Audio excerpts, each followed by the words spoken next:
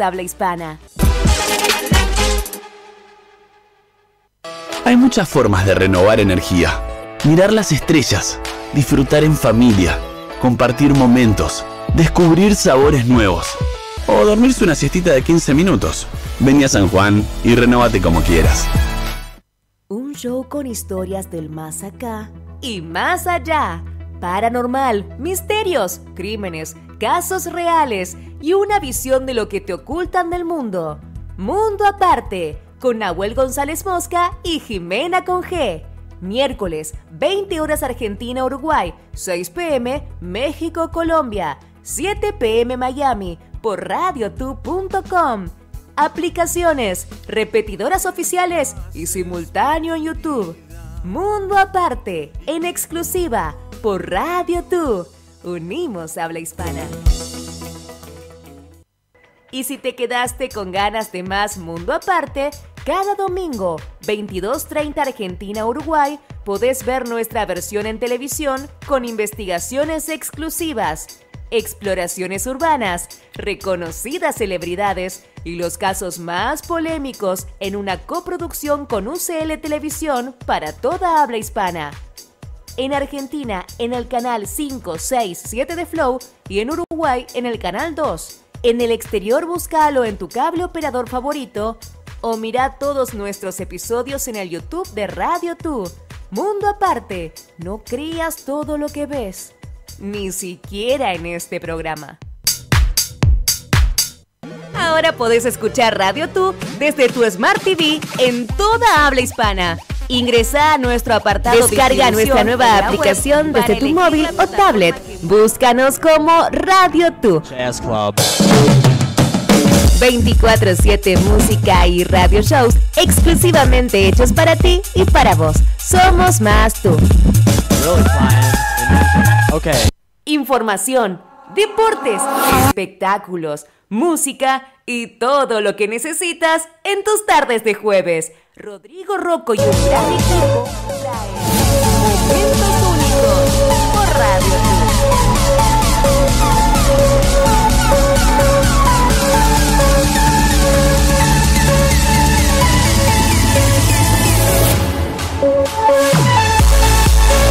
Hola, muy buenas tardes. Realmente la verdad que estoy muy feliz de ya haber llegado en realidad no es el cuarto de siglo, el cuarto de siglo son años. Sería, no sé, el, cuarto de qué. El cuarto de 100, qué sé yo, no sé, 25.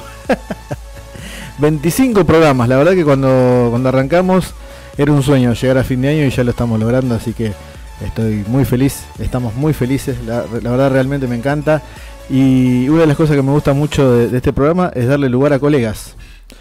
A colegas, actores. Eh, eh, que bueno, que uno, digamos, la verdad que tiene como una empatía natural, digamos, ni bien se conoce, porque este caso, digamos, es una persona que no conozco hace tanto, pero siempre alguna producción, alguna obra, algo, uno, a uno lo une, y bueno, es, es este caso de, de, un actor de raza, de, podría decir una palabra así muy grosa que, queda mal, pero de, de, P madre, así muy bien, muy, muy orgulloso de tenerlo acá. Hemos coincidido en un trabajo, en una publicidad, y de ahí, bueno, surgió buena onda y, está acá con nosotros. También actor y, después le vamos a preguntar si también le puedo decir chef, cocinero, eh, porque también hemos visto en las redes que, le gusta mucho eso. Eh, tenemos con nosotros a Luis Griti, ¿cómo estás? Hola, ¿qué tal? ¿Cómo están? Nicoleño también. Ahora que, en un rato viene Eliana, lo va, a remarcar eso. Exactamente, coterráneo de, de, Eliana. Bueno, muchísimas gracias por la presentación, por supuesto. Eh, ojalá sea merecedor de todos esos elogios. sí, soy actor, y sí, sí, me, comparto entre la cocina y la actuación. Me dedico de lleno a la actuación, obviamente, mm. pero como hobby. Pero en algún momento se pueden llegar a unir, digamos. ¿Por qué no? Es que ya lo, he unido en trabajo. Claro, sí, sí, aparte en, en las redes es como que, bueno, también uno ya eh, lo, puede ir, lo puede ir entrenando de alguna forma para cuando salga un proyecto, o en el caso tuyo que me dijiste que bueno que ya lo has, ya, lo has hecho. Claro, no, justamente, bueno, con nosotros nos conocimos en una publicidad, rodando una publicidad y, en un lugar muy hermoso que es en un campo de fútbol. Exacto. Así que algo, algo que también compartimos. Así que fue, fue muy fuerte la cosa, porque no solamente fue la actuación, sino eh, el amor por el fútbol. Exactamente, creo que se nos une todo. Y, mm, no, y en el caso de la, de la cocina, que, es algo que me encanta, que lo hago filmando una publicidad de, una marca de, comida, de, marca de hamburguesa y de preparados de cocina. Hicimos una publicidad con mi familia. Muy bueno. Eh, cocinando todo, así que ya he, trabajado. Muy bueno, muy bueno. y, y, bueno, esto de, digamos, eh, dedicarte a la actuación, digamos, ¿de cuándo, de cuándo surgió, digamos, naturalmente, de toda la vida? Por ejemplo, no sé, yo, si me preguntás, eh, ni me acuerdo, porque me parece que es como que de chiquito decía, bueno, quiero ser actor, y la típica que levantaba la mano en, la primaria y eso, y bueno, y, me llevó también hasta acá, hasta la comunicación, la actuación también, fue medio loco, así un, un pasaje. Claro, tal cual. Yo creo que a, todos nos une como rasgo característico de la infancia esa caradurez o las ganas y la, necesidad de mandarte a hacer lo que sea. Eh, en los actos escolares o ser el primero en, proponerte para hacer ese tipo de cosas. A mí en realidad, yo siempre lo repito, eh, yo soy de San Nicolás. En San Nicolás, tal vez a Ileana le ha ocurrido lo mismo, no nos pasa que tengamos el teatro tan cercano. Mm. O sea, tenemos un teatro que es hermoso, hay producciones, pero no es como Buenos Aires, no es un lugar donde uno diga, tenés al teatro la música muy cercana. Entonces era difícil pensar, uno cuando ve a un artista es... Está la actividad, pero, pero con, no, no tanta, digamos, no con tanta movida. Claro, y uno no piensa que puede ser verdaderamente actor, vivir y dedicarse a la actuación. Claro, no es, que, no es que no haya movidas, sino que eh, con la magnitud que hay acá y y el despliegue que hay acá por ahí es distinto, ¿no? Claro, y uno no se hace la idea de realmente, digamos, eh, sostenerse económicamente de eso, por, por decirlo de alguna manera. Así ya de grande, cuando me fui a Rosario, ahí empecé a hacer más teatro y ahí empecé a ver otras cosas y de a poco empecé a trabajar, me vine a Buenos Aires y empecé a hacer publicidad teatro en Rosario y así se me fue abriendo y, ahí fue cuando decidí, dije, pará, yo quiero hacer esto.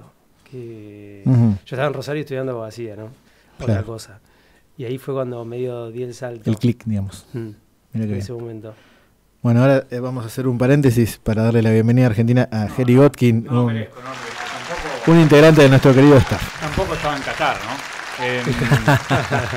Eh, Recién llegado. Sí, eh, es muy interesante siempre lo que pasa con las cosas que pasan con Buenos Aires, porque en general lo que nos ocurre a los que vivimos acá, los que nacieron no, no importa, es que por momentos nos sentimos agobiados y decimos, y la verdad que yo no elijo vivir en Buenos Aires, pero por otro lado, para desarrollar un montón de actividades, no te queda otra que vivir en Buenos Aires.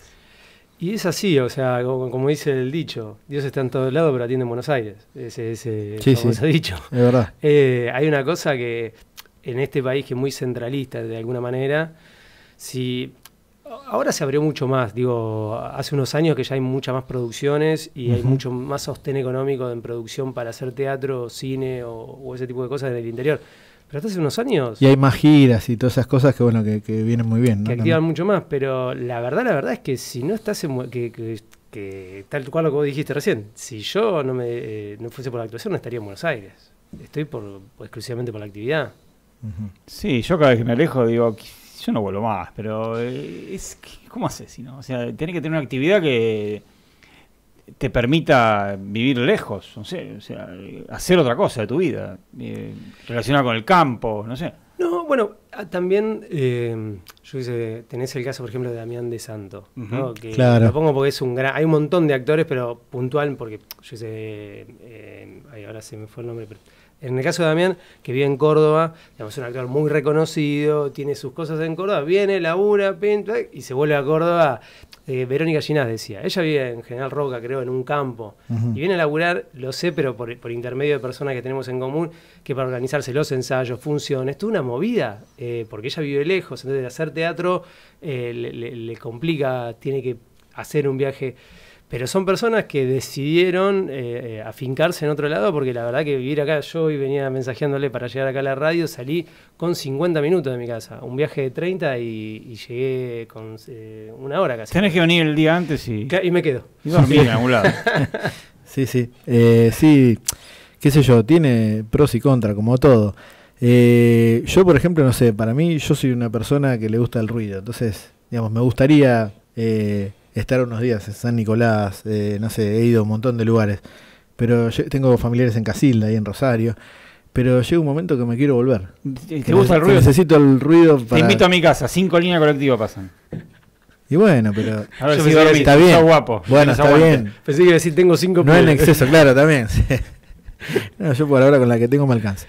Eh, no cerré la fábrica, pero me alcanza. No, igual, ojo, a mí me encanta Buenos Aires. O sea, eh, en la- en la- yo si no me dedicase a lo que a la actuación, por supuesto que tendría otra actividad y no creo que sea que hubiese sido necesario vivir en Buenos Aires, pero a mí me encanta, no, no la paso mal, me encanta la ciudad, me encanta Y todo. además, todo dentro lo de todo, tiene. no está tan lejos San Nicolás para cuando te quieras pegar una vuelta. No, no, pero más allá de eso, digo, eh, Porque un- hay casos que no sé, si sos de Ushuaia, digamos, lo tenés que pensar en en Bueno, volver. Sí, sí, no, no, cualquier, cualquier, cualquier lugar que sí, San Nicolás está a 230 kilómetros, pero digo, es una ciudad que nosotros tenemos la posibilidad, y comparándola con grandes ciudades del mundo, ju- justo hace poco estuve con un amigo director que había vuelto de Italia y me decía, las posibilidades que nosotros tenemos acá para hacer teatro no las tienen en ningún lugar del planeta.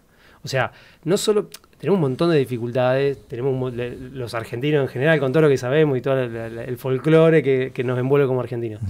Pero me refiero a las posibilidades artísticas que tenemos acá de juntarnos dos o tres y decir, bueno, este es bueno y hacemos una obra de teatro. Y, decir, y, y podés hacer teatro y podés hacer vos y en otro lado del planeta. Casi como hasta de la nada, ¿no? Exactamente, es más, después de este programa, eh, che, nos tomo un café y, y Y- en dos meses está la obra. Claro, es, Sí. eh, ocurre algo, Sí. algo que en otros lugares no se da. Y eso también es porque, bueno, en Buenos Aires también se, se junta toda esa gente con toda esa fuerza, con todas esas ganas, con todas esas voluntades y, y salen esa- esos hechos artísticos que son tan importantes, ¿no? Sí, sí. Eh, Sabes que bueno, lo conocí en la publicidad futbolera, la última que, que hice. Y eh, dijo que ahora cuando tenga, que se libre de unos compromisos, eh, está, Se está disponible para el plantel, dijo. Bueno, Bueno, Santiago bien, ¿o no? De ese plantel, bien, estuvo bien. Aunque lo sufriste en contra, pero bien. No sé quién que- sufrió el- quién, ¿eh? el sí, bueno, está bien. no, no quisiera hablar igual ahora, de mí, pero no sé igual, ahora, igual ahora en el próximo bloque que lo tenemos, tira ahí, mucho al piso, ahí igual. debatimos. No vale tirar. Eh, Ah, se tira Vichy, mucho, sí, no vale. sí, tuvieron ahí un par de cruces, pero bien, con buena onda, no, no, no pasó nada, pero bien. No, bien, le rompí las piernas, pero bien, todo bien. Muy fuerte. ahora vamos a ver, que hoy viene en Bermudas y podemos ver, ya que estamos de- en verano, podemos ver a ver cómo quedó cada uno.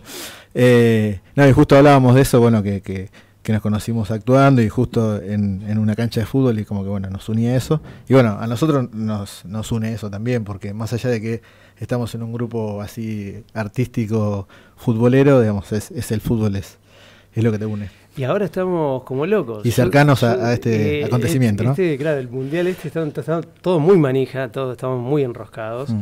Eh, Yo creo que, que el- el- estos seis meses eh, que pasaron, digamos que ya tendría que haberse dado, es como que nos dio un poco más de manija, ¿no? Aunque lo vimos lejano, es como si, uh, ahora No, llega. yo lo que creo ¿no? que lo que creo que pasa es que mm, el equipo juega bien, se lo ve muy bien y, Claro. y no se cae. O sea, uno dice, no, viste, el- antes del mundial Claro, se porque pincharon". por ejemplo ayer ganó 5 a 0. Eh, pero bueno, pero en otro momento por ahí ganaba 1 Lo a que 0. pasa, no, lo que pasa es que en el fútbol es no le gana a nadie cuando juega con un rival muy débil, le, le gana, mejor dicho, le gana por poco. Eh, no le hicieron cinco goles a Emiratos Árabes, mátense. Le hacen cinco goles, eh, no le ganaron a nadie. O sea, siempre hay algo parecido. Sí, no hay, no hay una media, ¿no? Siempre, siempre. No, bueno, eh, tal cual lo que, digamos, el- nos conocimos en una cancha de fútbol que ya nos sacamos fotos en la cancha, en una cancha de la Madrid. La Madrid, sí. Y que, digo, no era un estadio gigante, es un estadio de, de la C, creo que está Sí. en Madrid, pero una cancha divina, con un césped. Sí. Un saludo a toda la gente por las dudas. Por, supu- por supuesto, no, no, estaba, estaba- no, estaba divina la cancha. Sí, en sí, estaba muy linda, estaba muy linda. siquiera estuvimos, estábamos en un estadio gigante. Estaba muy linda. Y ya nos sentíamos profesionales. Sí, ya estábamos sí, a full. agrandados, ¿viste? sacábamos el pecho en la A cancha. full, a full. Y- Aparte, bueno, no- nos han tratado muy bien ahí la, ¿De qué es la producción. publicidad? ¿Se puede decir o no? Cronista, ya salió. Después te la paso. ¿No me lo pasaste? Después te la paso. Pero ahora salió esta semana. Ah, bien. A, a días estamos Lo del- bachan, del lo bachan fuerte atrás. Sí, Le sí, dan sí. fuerte a, Sí, sí. a Rocco. está acostumbrado porque es es el, secreto. Claro, claro, claro. Es la única manera de pararlo. Y los No lo- ¿viste? Si no, sí, no, no me puedo- se va derecho al gol. No me puedo parar. Lo que te quería, vos sabés que lo que quería decir que nos Sí. conocimos ahí. Y es tan fuerte, digo, el tema del fútbol, porque en un momento de la publicidad, y esto a lo que quería llegar, eh, estamos con re manija con el mundial, pero siempre nos ponemos manija. Sie- Siempre que involucre fútbol nos ponemos manija. En un Sí. momento de la publicidad, viste, eran todos planos cortitos de a uno que se cae, del otro que dice, el otro Con que mira, metáforas no sé qué. económicas, para explicar a la gente. sí.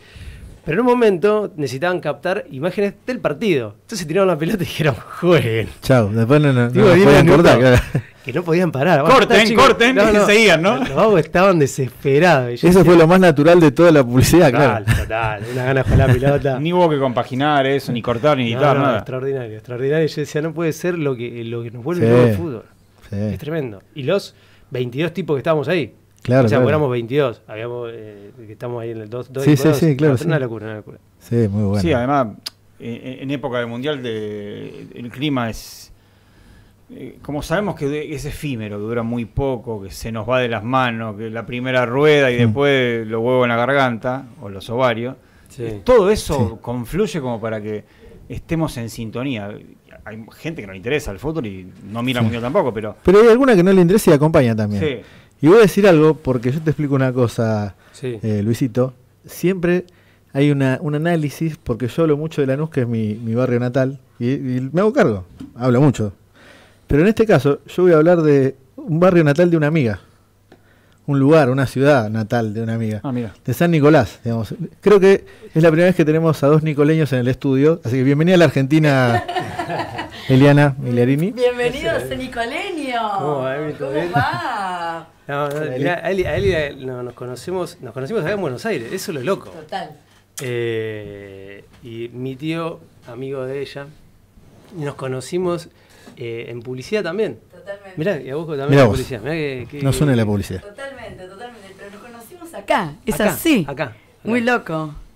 Yo me he encontrado con mucha gente de Rosario, que también vive en Rosario, y me las, me- me las he encontrado acá. Y mucha de la gente que, digamos, de mi grupo de amigos, eh, actores, eh, son del interior. Pocos de Buenos Aires. Pero no porque tenga mala onda, tengo muchos amigos de Buenos Aires. se pero así decir, también. eh, Maurito de Buenos Aires, digo, que Claro, es un amigo, claro. pero que es uno otro el vínculo que tenemos por esta este Exacto. comercial. Pero es, mucha gente del interior. Y con el interior como que se te haces, viste, de fuerza, de decir, ah, yo también. Ah, hay una eh". identificación, claro. Claro, eso es lo que pasa. Totalmente. Vos también estabas desamparado como yo cuando llegaste. Sí, ¿no? Como que lo comprendés más. Te, te cuento mis primeros tiempos. estabas desamparado. No, no. ¿Cómo? No estabas desamparado. No, No, no, no, no. Teníamos no. la fuerza pujante. No, olvídate. Que A comernos la ciudad, olvídate. Claro, Eso era, Claro. eso era el verso de los boliches, por decir, bueno, vengo acá de... Yo tenía el chamullo. Sí. Ah, el pie de pueblo. Eh, bueno, Luisito, me habías comentado algo fuera del aire de unas obras breves tipo el- al estilo de microteatro, algo así. Es, eh, Ah. ¿En qué andas? Contanos un poquito Bueno, artísticamente. Justo este, no, este año estuve trabajando bastante en microteatro, haciendo obras así, y también en, ahora particularmente, estoy en, una, en un ciclo que se llama Ciclo Guillotina, que son obras, escenas breves de humor que se hacen en el Teatro Polonia, que es un ciclo que se hace hace ya muchos años.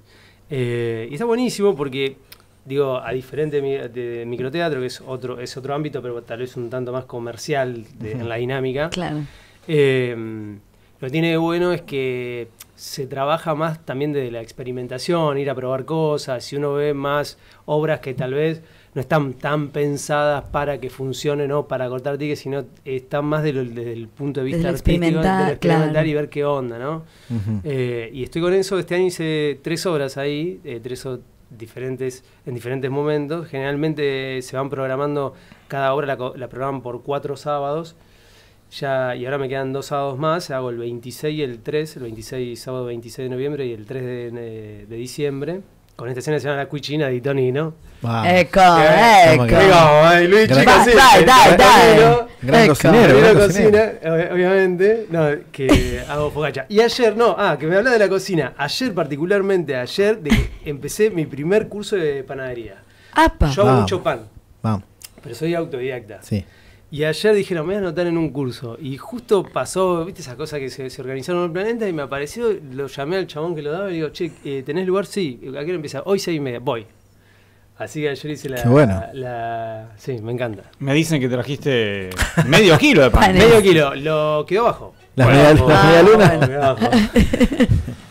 ¿Con qué te ves, con, el, con lo primero que te ves así de, de pastelería? ¿Qué te, qué te- Pastelería, eh, hice medialunas y, y que es lo primero y lo que, lo que más me, me- me- digo, lo primero que quería hacer. Para la próxima co- cocina en vivo, acá traemos no, una... No, pero soy muy, no, soy Una eh, muy fana, muy fana y lo que más me dedico en realidad Sí. es a los panes, panes y focaccia. Focaccia era mi especialidad. Uh, de hecho, bueno. participé en un concurso de focaccia. Ah, Qué bueno. Sí, sí, no, me encanta la focaccia. Eh, en pandemia, yo ya venía cocinando, pero en pandemia, que, que- Claro. que estaba paradísimo, paradísimo Sí. la actividad. Estaba Se muy- prestó para... para... muy deprimido y un amigo me dice, pero ¿por qué no haces focaccia y vendés focaccia? ¿Y a quién le vendés? Bueno, y el mundo vos, qué buena. Lo único que quiere hacer es comer. Y empecé a cocinar y empecé a vender y empecé a vender y vendía la fiambrería, carnicería. Posta. Buena idea, mirá que bien. Eh, eh, Cuando la cuento la gente dice, posta. Ay, qué digo, "Sí, ¿en bien, serio?". qué bien. Ah, pero que veces viste que es lo menos pensado, decís, che, y, bueno, y sale. Eso es lo pujante de los nicoleños. Qué. Microemprendedores, siempre. Qué bueno, qué bueno. Así que bueno, este, bueno, y, y habías dicho también que bueno, en un momento también eh, unió las pasiones con la, con la cocina y bueno, y en algún momento también se dará de hacer algo así como Sí, un, no vos sé si, no sé qué, digamos, si, si tendrá que ver con teatro, con una publicidad, con lo que sea, pero que ya pasó que cocinó, programita, ¿por qué cocinó no? con la, con la familia. No, pero ah, sí, sí, totalmente. Ya hice una publicidad digo, y como, como me conocen y saben que soy bueno con los cuchillos. Eh, Upa, eso tiene una arma de doble Bueno. filo, ¿eh? no, no, Justamente. Bueno para, la redundancia. bueno para los duelos. bueno para Nunca mejor dicho. No, resulta que eh, me han llamado para hacer cosas así de, de- de laburo de cocina.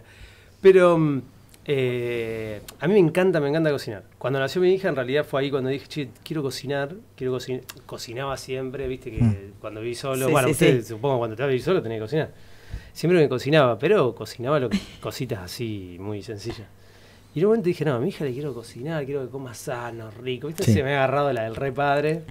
Y así fue que empecé y cada vez más, cada vez más, y me, me gusta y se me da, digo, no es que me cuesta. Eh, Qué bueno. no, me, no, me, no me frustro, digamos, haciendo, así que me, me encanta. Muy Qué bueno, qué buen- muy bueno. Qué buen condimento, valga la. Una vez más. Sí, sí. Escúchame, y volviendo un poco a la actuación, ¿no? Eh, Mm. Una pregunta tan por ahí linda y bueno, viste que uno siempre cuando eh, eh, compone personajes o está, vas a, a- a- a, mm, tenés una obra en la mano o un guion, ¿qué es la, ¿cuál es la parte que más te gusta como actor? Viste que los actores tenemos como una parte que decís, uy, me encanta ensayar o me encanta componer o me encanta el momento de... ¿Tenés alguna parte como que decís, acá me siento como pleno dentro de todo el proceso? Eh, sí, el, momento que más me gusta es eh, las primeras semanas de ensayo. O sea, y me encanta mucho más cuando no conozco a los otros actores. O sea, me, me da mucha adrenalina, me gusta mucho, me genera mucha ansiedad, pero para bien, eh, el tema del, del desconocimiento total de qué es lo que va a pasar y qué es lo que se va a venir, qué se va a crear. Viste, cuando uno te, te llega la obra, vos la lees y te podés imaginar un montón de cosas, de- Claro. de, de teatro, no sé, ah, bueno, me- cuando gane el premio voy a ir vestido así. El actor ya piensa Sí. lejísimo. Sí. Pero a mí lo que me, lo que me vuelve loco es, es eso de tener el guion y ver, no conocer a los otros compañeros, me, me fascina cuando me pasa eso, y no solo esa posibilidad, sino qué es lo que va, se va a ir creando en el ensayo. El ensayo, Ujú. esos primeros ensayos de cuando empezás a ver Precioso que, momento. que Claro. una pelota que se va empezando a definir cosas, eso me, me- Sí, me porque si bien eh, cuando actúas con gente que, que querés, amigos, conocidos, está bueno porque te relajás, porque sabes lo que pueden dar, a la vez está bueno ir descubriendo otros colegas, ¿no? Todo, todo eso tal cual y además que te eh, obliga a estar disponible. Mm. Para mí es lo más importante como actor, o sea, te, te obliga a estar muy pendiente al otro y si no lo conoces tenés que estar muy pendiente a ver qué es lo que más te va a nutrir o qué es lo que más te va a servir del otro para poder trabajar. Cuando conoces a uno ya sabes por dónde vas a ir, entonces como medio... eh, Es un, tra- choreo. un trabajo doble Claro. hay que hacer ahí, yo siempre digo, ¿no? Porque es más difícil todavía Sí. si lo conoces. Porque Yo creo que igual... corres eh, el peligro de que vaya la cotidianeidad Mm. y no la ficción. Te, te voy a, te voy a tirar una futbolera, Luisito, que a vos te gusta. Es como el técnico que, y el técnico que eh, pasa de jugador a técnico y se tiene que ganar el respeto, ¿no? Bueno, para relacionarlo un poco, ¿no? Que, que exista ese, ese respeto, porque también decir, che, Eli, bueno, vamos a hacer una obra, eh, Luisito, vamos a hacer una obra, y bueno, che, sí, vamos, vamos a tomar unos mates, vamos- tranquilo, ¿no? Porque hay un conocimiento, ¿no? Al contrario, que ese conocimiento sea también que se, que se que pase a ser eh, respetuoso también, digamos, que utilizar esa buena onda y esa relación que tenemos para, para hacerlo, no que, no que se pase para el otro lado. No sé, eso de la manera que lo tomo yo y bueno, por lo que estás No, diciendo que- vos vas para ese lado. tiene lo que de- tiene que ver las dos cosas. Tanto lo que dice Eli, que es, es, es el doble de esfuerzo porque tenés que estar muy. Si lo querés hacer bien, tenés que estar muy pendiente a no, a no enviciarte con lo que ya conocido, que es lo que vos decís, que Sí, ya sí. te, te genera. O si no te mirás, te reís, se empieza, viste, se desvirtúa todo. Pero, Pero, no, de la buena onda, ¿no? Y, que y además, el, el otro día hablaba con un amigo, con Luis de Almeida, que me dirigió justamente en una, una obra ahí en microteatro, y me decía, a veces me junto con amigos con los que nos divertimos, nos despanzurramos haciendo una obra y digo, che, nos tenemos que juntar para laburar de nuevo. No, ya está. Ya está. No, chicos. Ya está. Juntémonos a comer un asado, a ver un partido, a hablar al pedo, tomar una birra, pero no nos juntemos a, tra- a trabajar porque ya no vamos a poder trabajar. Claro. Porque nos juntamos y nos la pasamos tomando mate, hablando al pedo, qué te pasó, no sé qué, y ya se pierde Sí. la, in- la- la intensidad esa con la que uno va. Salvo a que sea un grupo ex- experimental que decís, bueno, nos juntamos para experimentar y para crear y demás, que está bueno. A que, veces tenga, es que difícil tengan la chip y encontrar. decir, bueno, che, chao. Sí, que a veces Arrancamos. es muy es complicado, eh, digamos, eh, encontrar ese un grupo de trabajo. No digo que sea imposible. Hoy por hoy se hace cada vez más complicado, porque antes por ahí nosotros teníamos, bueno, vas a un estudio de, de- de actuación con un maestro y decís, hoy por hoy decís, él fue compañero mío en el estudio tal, y tenés esa combinación y conjugación que decís, bueno, nos juntamos a hacer una obra. Pero hoy por hoy que es todo muy touch and go, porque hoy la gente también va a estudiar y va, vuelve, va, vuelve. No nosotros por ahí que somos de una generación de, de estudiar, Sí, sí, sí. ¿no? De, de saber que... eh, no digo que no estudien hoy, pero lo que digo es que se toma la cosa como muy ya y bueno, y Es ya que todo, pasa. es que todo, digamos, Sí. to- en todo orden, bueno, eh, no, no, vas a- no vamos a saltear esto, en todo orden se vive así acelerado. Sí.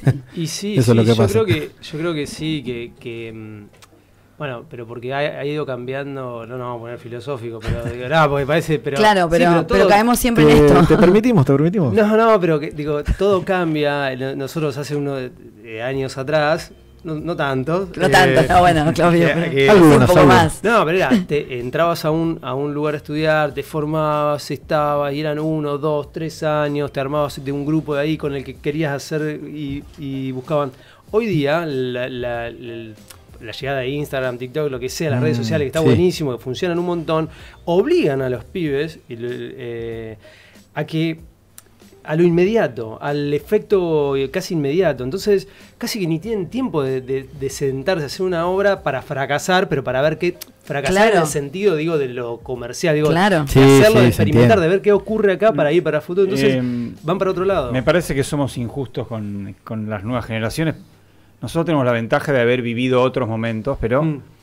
sin ir ya siquiera a Instagram, creo que la llegada del WhatsApp con su tilde azul o el color que le quieras poner, la necesidad de que te contesten el mensaje, nos hizo a todos eh, esclavos de la instantaneidad.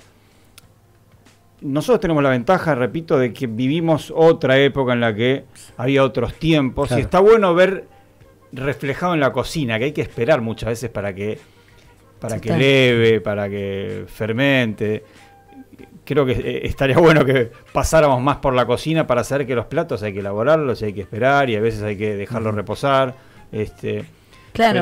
pero Igual Eso tiene- es verdad, pero tiene que ver, lo que yo digo es el tema de la una- formación. Tiene una Hoy ventaja. por hoy hay todo un problema, una problemática, más allá de la problemática del lenguaje, que bueno, Sí. tenemos Shakespeare, es Pero- Shakespeare. pero ya- o sea, pero a ver, ya de Chekhov ba- es Chekhov. Pero ya de base, Eli, sin llegar al teatro, educación, educación. Claro, claro. general. Pero digo, o sea, eh, a mí me pasa eh, a veces formando a los actores que digo, estamos armando una obra para fin de año que es la obra de él, eh, la muestra de fin de año. Yo tengo que meterles en la cabeza. Chicos, empecemos a enamorarnos del proceso de la cocina. Mm.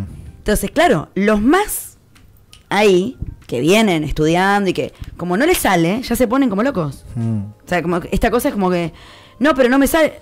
Para, ¿entendés?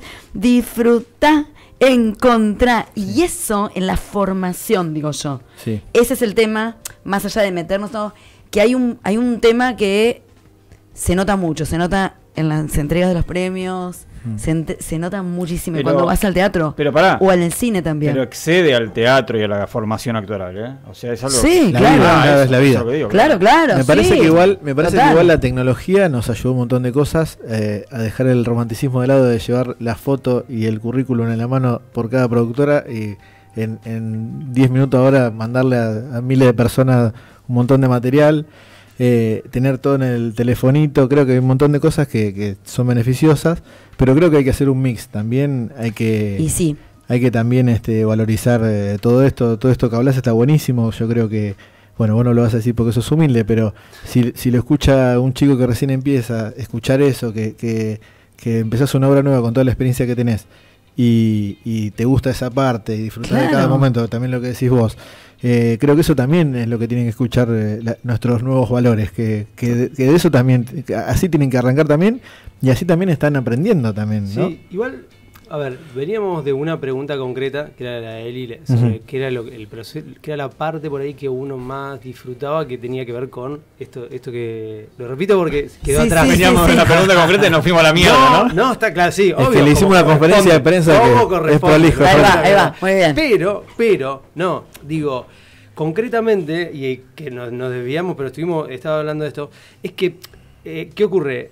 Hoy día vos haces un video o haces un acting o haces una cosita en YouTube o, para Instagram o lo que fuere, y eso eh, genera una repercusión inmediata. Esa repercusión inmediata es lo que miden a veces y lo que ocurre a veces ahora. Entonces, eh, yo creo que ahí es donde se complejiza un poco. Si uno. Es cómo eh, te eh, miden, Claro, aparte. si, si, vos, si vos estás eh, muy pendiente, como actor, digo, a ver un resultado en, en un algo que es un proceso que, que requiere mucho tiempo y mucho trabajo, ahí es donde la pifia. A mí me gusta eso. No estoy diciendo que no. Las redes tienen un montón de cosas buenas. Claro. Internet es zarpado. Digo, todo, todas las redes. Hoy día los, ya prácticamente nosotros nos conocimos en casting. Claro, Haciendo total. casting, que nos encontramos tres horas esperando y Claro. te pones a hablar, ah, soy San Nicolás, yo también, ah", Claro. Y ahí. Con el hoy autocasting lo estamos perdiendo. Claro, hoy el self-tape y para hacer Claro. series, para hacer. eh, Total. eh, ¿Cómo se llama? Digo, Sí, todo, Películas, cine, eh, prácticamente publicidad, todo. yo- bueno, por eso, entonces, ¿a qué ocurre? Yo también me tuve que ayornar en un momento, me digo como que me empecé a pelear, viste, en pandemia, que me te empezaron a llegar los castings, ah, tengo luces, no tengo en la pared, no sé, no lo hago. sean Buscalo todas porque lo tenés que tener. Claro. Y en un momento dije, no, pará, o sea, el único que está perdiendo soy yo porque es laburo. Y, y empecé a hablar con gente y me decían, che, no, o sea, esto no, no se va a cortar nunca, va a ser así. Yo terminé de grabar una serie hace poquito para Disney. Y el casting lo hice en mi casa. Y no tuve casting, sí. no conocí a, a nadie hasta que Sí, fui sí. a grabar. final, claro. Es fabuloso eso. Sí, sí. ¿Entendés? Y el casting me lo mandaron, mandé el casting. Y también ocurrió, digo, hago un paréntesis, también ocurrió algo gracioso de lo que es la tecnología, que me llama la directora de casting y me dice, Luis, estoy preparando un casting para tal, vos da, está, tú, da, sí. Primero me chequea como una cosa, bueno, eh, después te voy a presentar como opción, si me dan el ok, te mando el casting. Nunca más me llamó. Digo, bueno, ya fue. A las dos semanas me dice, Luis, ¿estás para hacer el casting? Sí, sí. Bueno, te lo voy a mandar. Bueno, los tiempos de no sé qué. Pasan otras dos semanas y me dice, che, Luis, no me mandaste el Digo, nunca me llegó. Ahí va. Y me dice, pero fíjate en el spam, no sé qué. No, no lo tengo, no sé qué, pa, no sé. El, el correo se había perdido. Me dice, no, presentámelo ya, porque hoy, hoy lo teníamos que mandar todo editado, Oh, no sé qué. Bueno, hice el casting, hacía los pum. Al mes resulta que quedo en, en- en la serie y toda la historia. Y decía, fíjate qué loco todo, ¿entendés? Digamos, de, de- de- de, mm, y, des- y agradecer que en un momento, hace varios meses atrás, dije, me voy a comprar unas lucecitas, toma con 50, no hay que invertir mucho, toma con 50, elijo esta pared, o busqué cómo ponerla, no sé qué, y ya tenía todo preparado para que ante la emergencia de hacer un casting, ah, prendo la luz y ya puedo Se hacer el claro. casting. Digo, y todo digamos, se, se dio de esa manera. Si no, no hubiese podido hacer el casting. Claro. Eh, o sea, a veces atenta a tu favor, a veces atenta en contra. Lo que uno Sí. tiene que hacer es que siempre atente a, a su favor. ¿De qué manera? Ayornándose. Sí, uno Si se no, tiene que. Pero hay algo que vos decís que es importantísimo, porque también está después, che, pero no me llaman, yo que eh, pongo todo en, en Instagram, que pongo esto, no me llaman. Lo que pasa es que estás con el maquillaje, entre comillas. ¿Te estás preparando bien para el casting? O sea, eh, está todo bien, la luz, todo eso, todo perfecto.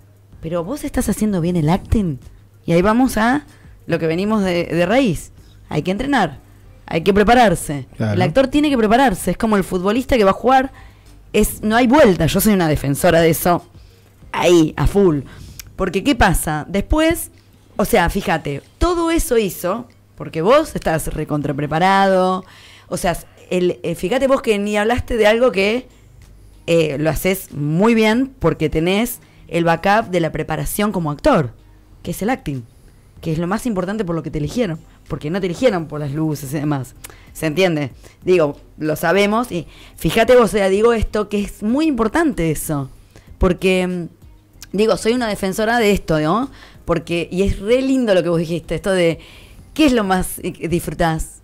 Ese momento cuando voy, o sea, si vos ese momento que disfrutás, volviendo a la pregunta, ¿no? Disfrutás esa adrenalina y todo eso que es ver al otro y demás, todo esto es porque, porque sabés que tuviste que estudiar un texto, que- o que lo estás estudiando cuando vas al ensayo, que estás preparando el personaje, que estás disponible, como dijiste. Son todos términos de cosas tan interesantes y tan buenas que a veces, cuando no tenemos ese backup de saber que tenemos que entrenarnos y estar preparados y tener herramientas, por más que apretemos y Sí, tengamos sí. todos los... ¿Se entiende, no? Es como... Sí, lo entiendo perfecto y te voy a decir dos, dos cositas gorditas. Una es que eh, yo particularmente eh, lo- lo- digamos, me invitó a jugar a la pelota acá Rodri los lunes, pero yo los lunes estoy entrenando Claro. ¿Ves? con Gobernador y Feldman, ¿Ves? eh, que ahora estamos preparando la muestra. Y me, me- me pasa que ahora estoy preparando dos escenas diferentes para hacer la muestra con pibes que... eh, Recién empiezan. que algunos que recién empiezan, otros que ya hace tiempo, pero y por ahí que no se dedican a la actuación como primero. Yo soy actor, o sea, no me dedico a otra cosa. Yo toda mi vida eh, le- le estoy dedicado a eso. Y muchas veces hablo y le digo, y me dicen, no, que vos estás. te-". Yo digo, yo tengo que seguir. Yo trato de todos los años, por lo menos, una, un periodo de ese año, dedicárselo a volver a entrenar, a volver a, Sí, tomar clases Exacto. con alguien. Porque si no, también uno cae siempre en la misma, a ver qué es lo nuevo, qué es lo que está ocurriendo. Y lo que vos, digamos, llevándolo a terminar al campo futbolístico, es. Menotti decía que los jugadores en un momento eh, se, eh, estaban mirando fútbol todo el tiempo. Y en un momento abrió la habitación y estaban jugando los jueguitos. Y, se- y ya se rompió algo. Bueno, yo digo, si uno no juega a la pelota, o sea, si vos no haces teatro y si vos no ves teatro, difícilmente logres eh, ser un buen jugador. ¿Me explico? Digo, Claro. pero no, porque ahí, ahí, ahí tocado con la varita, son cracks, Sí, son claro. divinos, no sé qué. Sí, sí. Pero digo, no hay manera de lograr algo de- para, los, para los pequeños mortales que, te- que la única que nos queda es estudiar y seguir y seguir para poder, para poder laburar. ¿Qué esa? Entrenar. Digo, para cualquier cosa, hablábamos del fútbol, porque somos futboleros, yo siempre digo lo mismo. Si jugar, para jugar bien a la pelota tenés que jugar. Para, una vez escuché a un técnico que decía, para un, un jugador para llegar a primera tiene que entrenar 12 horas por día. 12 horas por día. Y vos decís que es un montón, ¿no? Dice, el entrenamiento Sí. que tiene, a la mañana, que el gimnasio, eso, 12 horas por día. Para que un tipo llegue a la selección. Ese nivel de exigencia ne- necesita tener. Además de que vos ves fútbol, vos ves fútbol, ves qué cosa hace mal, cómo que se para y con eso también aprendés, ¿no? Digo, todo es eh, eso. Y en el teatro es lo mismo. Yo digo que las redes han solucionado y nos han traído un montón de facilidades. Y por otro lado, en algunos puntos, algunos caen en la trampa de engañarse creyendo que eh, todo va por otro camino.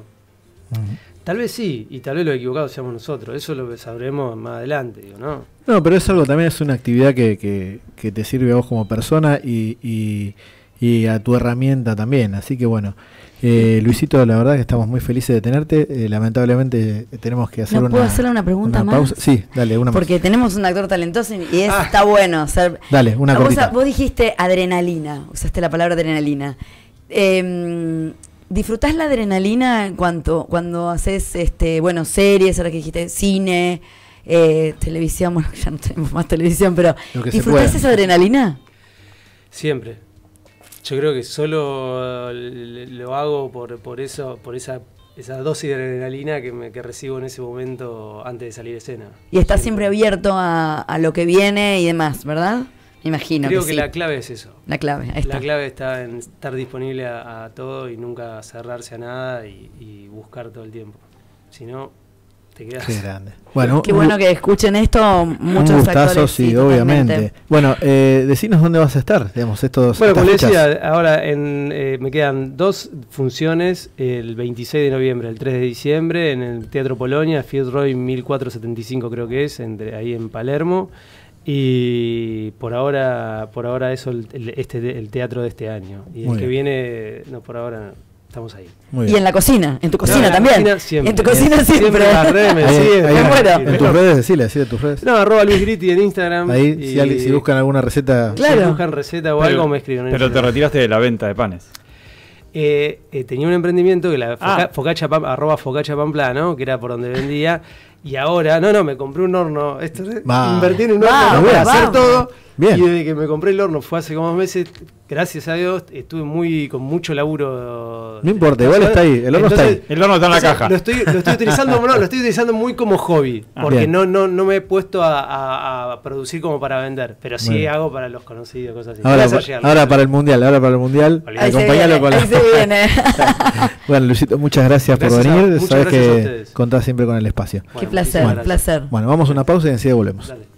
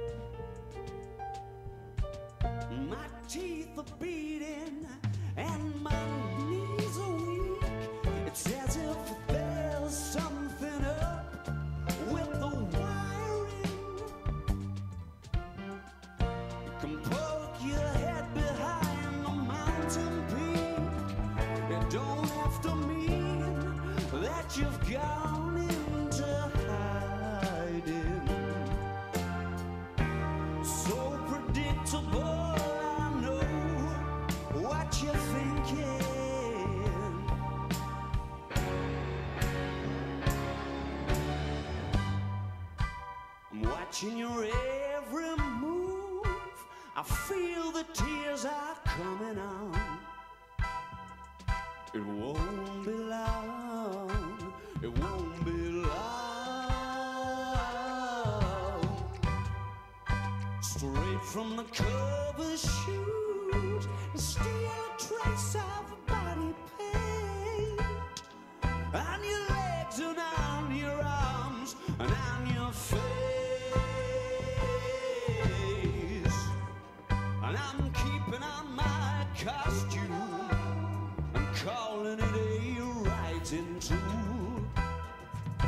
if you're thinking of me, I'm probably thinking of you.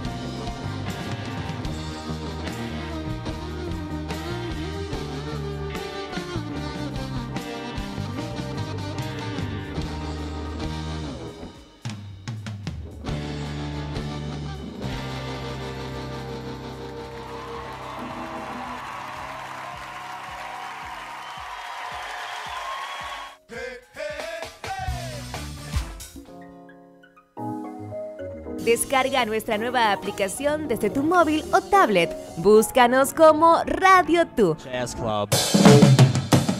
24/7 música y radio shows exclusivamente hechos para ti y para vos. Somos más tú.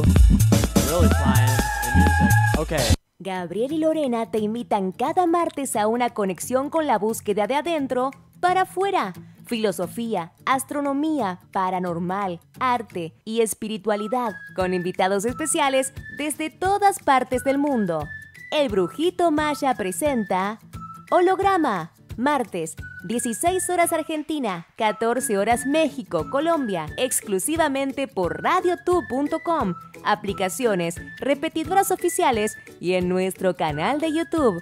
Radio Tu, en directo. Radio Tu, unimos habla hispana. ¡Hey! ¿Todavía no nos sigues en Facebook, Instagram o Twitter? Búscanos como Somos Radio Tu. Unimos habla hispana. Forma de renovar energía número 142. Tirarse en paracaídas. Vení a San Juan y renovate haciendo deportes extremos. Conoce más en sanjuan.tour.ar. San Juan. Ernesto Suazo y Gabriel Tortarolo en directo desde Madrid, España, traen un show especial con preguntas del todo y solo algunas respuestas. Música en vivo, improvisación, ideas e historias. Mil historias. Jueves, 16 horas Argentina, 14 horas México y Colombia. Exclusivamente por radiotu.com. Aplicaciones, repetidoras oficiales y en nuestro canal de YouTube. Radio Tu, en directo. Radio Tu. Unimos habla hispana.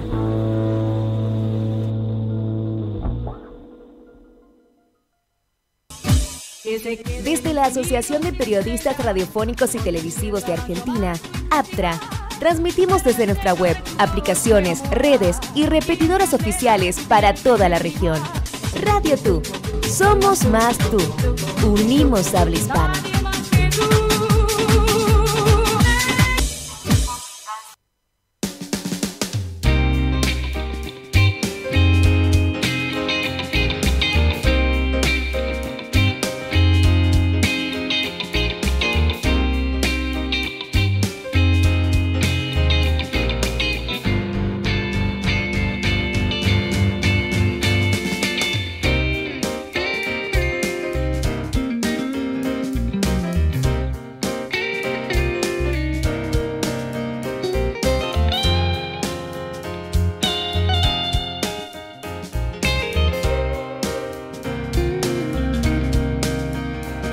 Bueno, ¿Boxeando por qué? esto ya pasó de- del corte al aire, ¿Estamos chicos. al aire? ¿Estoy boxeando? ¿Vos decís que estoy boxeando? Cualquiera, ¿eh? Pasó del corte al aire, chicos. No, Bueno, ¿viste? ¿Tuviste acá estamos. visión? No. Sí, bueno, es un buen entrenamiento. Sí, es un buen entrenamiento. Y en esta, y en esta rueda de, de amigos, de colegas, eh, es el turno de mi querido, mi colega, eh, ahora puedo decir mi compañero de fútbol también, mi compañero de publicidad, eh, Santi Viche. ¿Cómo estás, Santi? ¿Cómo estás? Hola, ¿cómo estás? Hola, Hola, ¿cómo Bienvenido. Bienvenido. Qué, lin- qué lindo estar en esta mesa. Qué lindo. Igualmente, Rodri, un lujo todo lo que contás. Qué lindo, qué lindo tenerte acá. La verdad que sí, que es como que recién hablábamos con Jerry, un poco también con Luisito, que creo que sí, es como, como que las, las energías, las almas, las, no sé, las personas en general, se unen, se unen por, por su energía propia. En algún momento tenía que pasar, es como que, viste, porque se da naturalmente a veces las relaciones, ¿no? Es como que parece que uno se conoce toda la vida y te conozco hace un mes, qué sé yo, son cosas locas, ¿no? Absolutamente de acuerdo. Sí, sí, estoy seguro, las Me energías puse se muy romántico, pero bueno, soy Sí, un no, ser pero está muy bien, está muy bien. Somos del área romántica. ¿Qué va a hacer? No, no, podemos salir de pero Además, eso. están hablando mucho de esa publicidad. que ¿Cuándo salió, dijiste, Rodri? Hace unos días, dos, tres días. Bueno, yo estoy manija más que con el mundial, quiero ver la publicidad. Sí, sí, ahora- Están, ¿dónde ¿Están los medios digitales? o En no? la- estás manija con el mate, me parece. redes- Sí, toma, toma, toma. con el Y mate con el micrófono estás, pero como loco agarrado ahí. ¿Qué no me lo saques. Eh, sí, no, eh, está en las redes del cronista. Ah, Eh, creo que es arroba cronista.com. así, Bueno. o arroba cronista.com. Sí. Eh, Todo fútbol. Todo fútbol, todo fútbol. Metáforas económicas eh, relacionadas con el fútbol. Pero a Santi aparte es como que uno lo conoce. Yo siempre, es como que nos conocíamos, bueno, nosotros nos conocemos. Por favor, mi maestra. No, qué lindo. Sí, por supuesto, claro. Qué lindo. Uno nunca se olvida de, de los maestros y sobre todo de los buenos maestros. Y Eliana eh, estuvo cuando empecé a dar casi los primeros pasos, ¿no? Así es, así es. Que venías de una. No venías de una publi muy importante. Claro, eh, era la, en ese momento era la, la publicidad de Quilmes, ¿se puede decir marca? Sí, cómo no. No. Andate. Eh, Después de- te llega la factura vos. Sí. ¿Cómo me gustó? Claro, contalo, contalo porque fue una anécdota re lindo eso. Eso fue el, el casamiento de los García con los González. Total. La, la novia era Sabrina García Arena y, y yo hacía el novio. Fue enorme esa publicidad. Enorme, enorme, enorme. Fue impresionante. Eh, iba a la cancha a ver a River y me gritaban desde la otra tribuna, me gritaban ¡González! Era impresionante. Qué. Y te voy a decir algo que vos te va a encantar como actor. ¿Qué? Cuando yo te conozco, que esa publicidad ya estaba en el aire, yo no me di cuenta que, era, que eras vos. Eso está bueno. Sí, claro, obvio. No me di cuenta para nada. Y creo que. Es un buen me- piropo ese, claro. Claro, Sí. como el actor es lo mejor que le pueden decir, entonces hay que decirlo, porque. El camaleón. por el supuesto. camaleón. Y, pero creo que pasó. Pasaron varios meses para que yo me diera cuenta. Mirá. Y cuando me dije, ¿qué actor? Ay. No, pero de verdad te digo, ¿qué actor? Porque y está bueno decirlo, porque vos decís, y encima era una publicidad que estaba era interesante porque había que Fue, era fue una publi increíble. increíble. Fue- sí. fue- yo creo que no solo yo, mucha gente lo, lo considera una, una de las mejores publis. Unas producciones impresionantes. Sí, era muy simple la idea y era muy popular, además. eh, fue todo redondo. Los creativos de esa publicidad pegaron un salto enorme, la Total. agencia, la marca, todo. Este, sí, fue muy fuerte. Y verte en las clases trabajar otras cosas fue re lindo e interesante porque no te das cuenta. Qué lindo, qué lindos momentos, me acuerdo. Total. Sí, además Sí. creo que, digamos, eh, por lo que vengo viendo de todo lo que hace él, él es muy versátil, digamos. Es, Sí. capaz de hacer eh, un, un villerito ahí como en, en- en la, la En obra de Liber- Libertad Libertad, Privada. Privada. Y, y ahora eh, hacer el oso, digamos, eh, en, en un toque así. Es como que, que enseguida, digamos, es, es camaleónico y bueno, y, y la verdad que bueno, lo felicité por lo de libertad privada, porque yo le decía, digamos, es como, viste, a veces ser un borracho, un drogadicto, eh, un marginal, eh, parece fácil, pero, es no muy lo difícil hacerlo natural y siempre estás muy al límite, digamos, no hay, no hay grises, digamos, o lo haces bien o, o no lo haces muy bien, para no decir mal y ser eh, duro. Y no, y salió buenísimo, y salió buenísimo, la verdad que salió buenísimo. Está, sí, está siempre al límite. Es muy importante en esos casos la dirección. Claro. bien, Eli. Eh, en este caso era Caro Solari y yo Grosa directora. Y sí, sí, con- y confié y bueno, eh, quedaba muy lejos de mí el personaje. Era un desafío muy importante. Cuando Caro me dice, ¿querés hacer a Flavio? Flavio eh, es un preso liberado durante la cuarentena.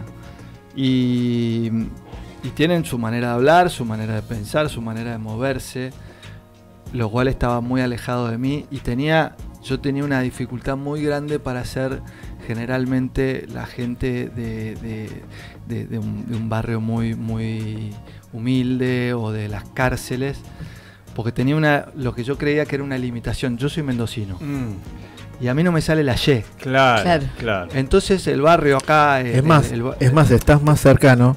eh, A le- Callao de Quintana, le- le, mando, le mando un saludo a, a todo mi, mi actual barrio Sí. y, no, y no quiero que lo tomen a mal. A un barrio más eh, más top que un barrio marginal, ¿o no? Claro, lo que pasa Porque es se habla medio Pero él, sí. él es- eh, parece un cheto absoluto. Claro. O sea, No, pues, San ¿qué Isidro pasa? quizás. No, no, no. Ya, no, no, pasa pero- por cheto, pero soy mendocino. Claro. Y en Mendoza eh, no se dice caballo. Claro. Se dice caballo, Caballo, caballo. Y acá queda como cheto. Sobre Entonces, todo el, el yo. Claro, el yo. Por el caballo es, es por ahí hasta más chileno. Sí, la Y. ¿no? Sí. Sí, Sí. sí. Bueno, la cuestión es que empecé a, a trabajar el personaje y dije, no, no tiene por qué decir la Y, que no me sale. Claro. Entonces el personaje habla con la Y. claro. y habla en un idioma un tumbero y habla en un lenguaje tumbero pero con la Y y, y funcionó funcionó y bueno y eso me, me- me- arrimó a un montón de herramientas y bueno, así lo fuimos sacando. Y fueron muy bien las funciones, que pasamos la gacetilla en el estreno, cuando ustedes Fue estrenaron. Muy, fue muy lindo, fue muy lindo y, y- y hay dos actrices, Silvia Dietrich y Silvia Travier. Espectaculares, eh. Dos actrices increíbles. eh, Y también lo mismo, con qué naturalidad que lo hicieron. Eso es como que cuando eh, se trata un tema así tan marginal y de ese tipo, bueno, por eso fue el éxito del marginal y todas esas series, porque por la naturalidad de, de- de las actuaciones, ¿no? Y en este caso lo mismo. Sí, y en este caso al ser al ser comedia rosa lo absurdo, entonces las, todas las pericias están muy muy subidas de- tono. Entonces no es un, un lenguaje realista como que estamos hablando ahora. Todo está mucho más exacerbado, digamos. Claro, claro, Pero claro. dentro de eso hay que trabajar con verdad. Claro. Entonces ese ese es el desafío. Pero si algo le sale muy bien a Santi es la comedia. Qué linda. La eso. comedia, ¿o no? Y me, me, me gusta. me Sí, gusta, sí, o no, claro. Sí. Hay una, un lugar en, que, en el que rosa muy esponta- la espontaneidad, viste que a veces uno con la mm, con la comedia, más allá de, de- de, digamos, de saber que uno no tiene que hacer el chiste o no tratar de no hacer reír al público, que eso no se trata de eso, eh, que son las circunstancias, el personaje es como uno tiene a veces mayor espontaneidad y vos tenés eso. Me y lo digo riéndome porque yo me acuerdo, tengo memoria de eso, de reírme y decir, y él quiere hacer el serio, pero está, no, está muy bien, está serio, sé yo. Pero eh, la comedia estaba ahí, Vos sabés que eh, lo sufrí bastante a eso. Claro. Eh, por ejemplo, hicimos una, una, una obra, Casa de Muñecas, un obrón larguísimo, Obras. personaje de Helmer, y durante todo el ensayo, que fue muy largo, eh, trabajábamos todo el drama, ¿no? Claro. Eso. Y cuando llegaron las funciones, de repente yo tenía mis monólogos y la gente se empezaba a reír. te lo dije, ¿ves? Es así. Y, y era muy, era horrible. o sea, Espantoso, claro. era esp- espantoso. Donde querés hacer llorar, estás haciendo reír, estamos haciendo todo mal. Pero bueno. Claro, eh, porque si bien puede haber un momento, pero si es todo el tiempo es como que muy sí, loco, ¿no? Sí, eh, finalmente empecé a usar eso. Entonces la obra tenía momentos de, de- de humor que garpaban, porque al ser tan larga, eh, como Claro. que agilizaba un poco más. Así que bueno, hice el, el Wu Wei, ¿viste? Y lo utilicé a mi favor.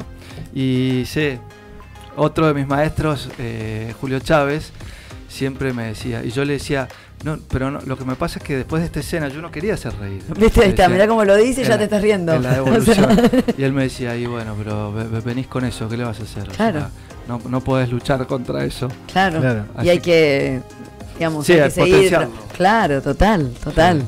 Muy bien. Así que bueno, acá estamos, en la, ese la- camino. y la pregunta, vos le vas a hacer una pregunta Sí. y yo te iba a interrumpir porque... Sí, no, eh, qué, más lindo, que qué nada lindo, que... qué linda- qué lindo grupete que arman Sí. ustedes. ¿eh? Gracias, Sí, sí, es sí, es sí. muy lindo estar acá. Sí. De verdad. Te integraste verdad. muy bien, sos vos también, ¿eh? Sí. Eh. Las flores. Nada, sí, tratamos de que, de que sea así, Santi. Eh, no, la pregunta era así como cronológica, casi como le hice también a Luisito. Eh, ¿cu- ¿Cuándo empezó este tema de la actuación o si lo tenés incorporado de, de toda la vida? ¿Cómo, ¿Cómo empezó el camino? Mira, el camino fue, fue largo, arduo. Eh, ya más o menos 16, 17 años yo- quería ser actor, pero estaba muy lejos de, de in- intentar el sueño, de intentarlo siquiera. Hablaba con, con integrantes de mi familia, algún tío que tenía algún poder sobre mí, ¿viste? Eh, y me decían que, o sea, ni siquiera podía decir que quería ser actor porque me iban a pegar una patada en el tuje. Y de repente lo comentaba y me decían, no, vos estás loco, que actor, que actor. En mi familia, abuelo... O la famosa ¿qué más vas a hacer? ¿no? También. Sí, y Eso mi- estando, estando en, en Mendoza.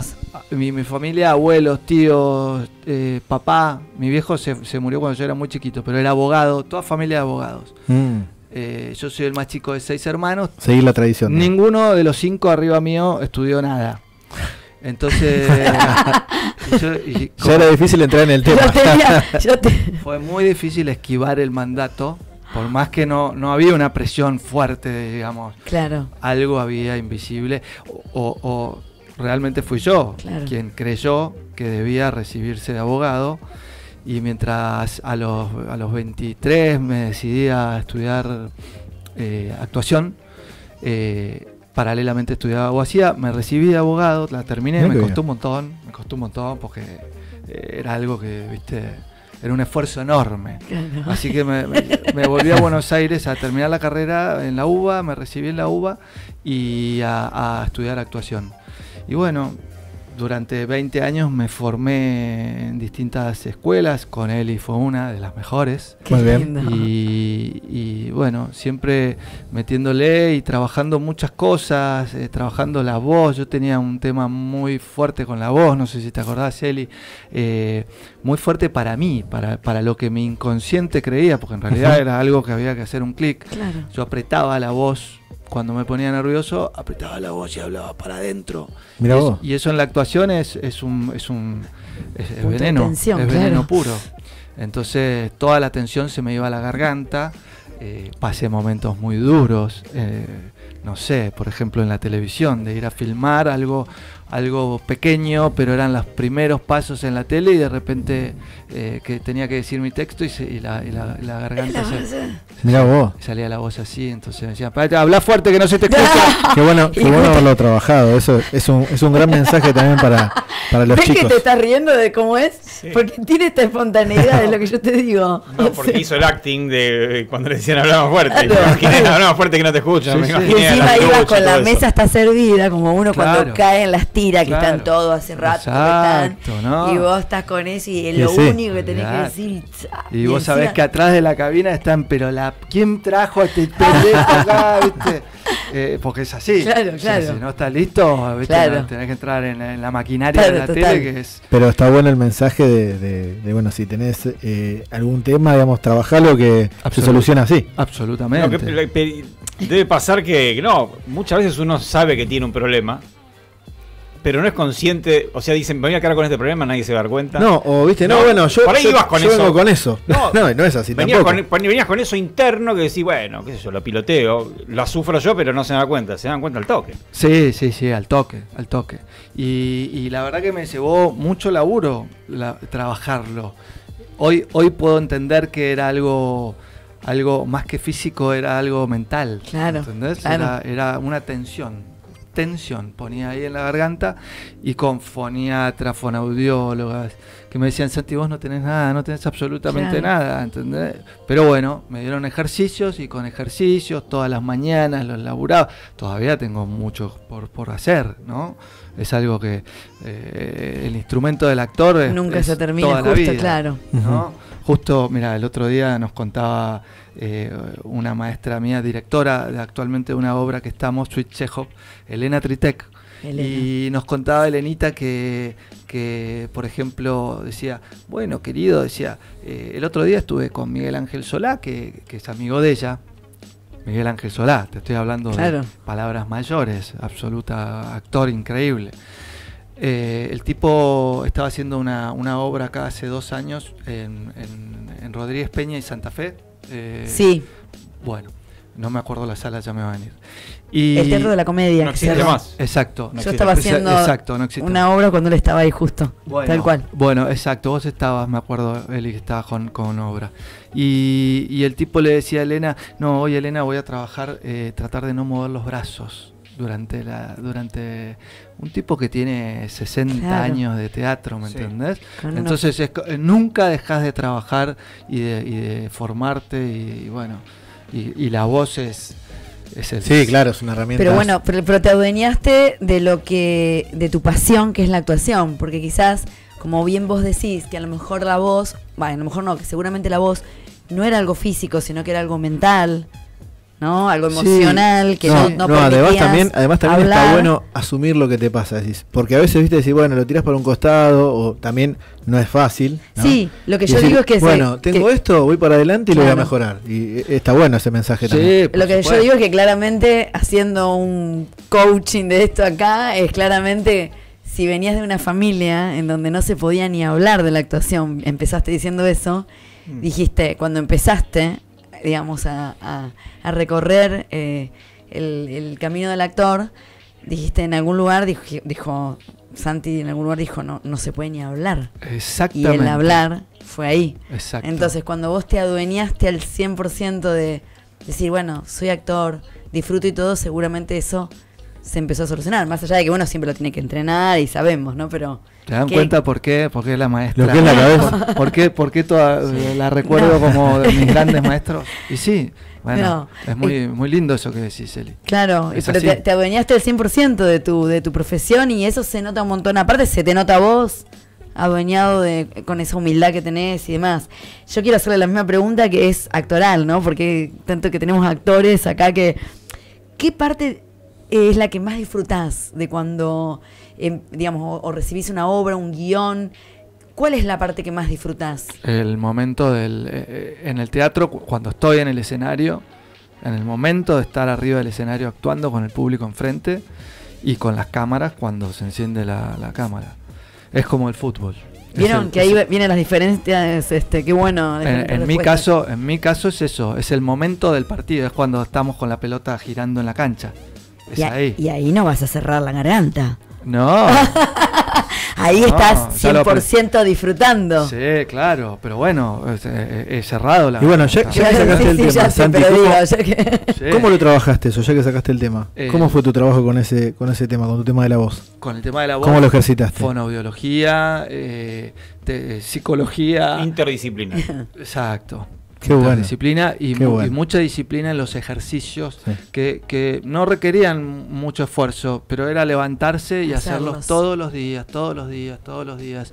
Eh, y yo veía, y mi fonoaudióloga me decía, mira, Santi, eh, tal actor, y me nombraba a un, un- alguien muy grosso, ¿me entendés? No, no- no- en este momento no me acuerdo quién era, pero con una voz muy potente. Me decía, todos los días, se levanta y viste su voz. Ese es el término de, de en fonoaudiología, Claro. vestir la voz y desvestir la voz cuando te vas a dormir. Qué bueno. Entonces vos decís, claro, o sea, tenés estos tipos que, que, que tienen semejante caudal de voz, semejante, eh, ¿cómo se dice? Proyección. Proyección. Y laburan lo que laburan todas las mañanas, ¿me entendés? Como uno no va a hacer un, un gran esfuerzo, ¿entendés? Claro. Sobre todo si lo que tenés que trabajar es la voz.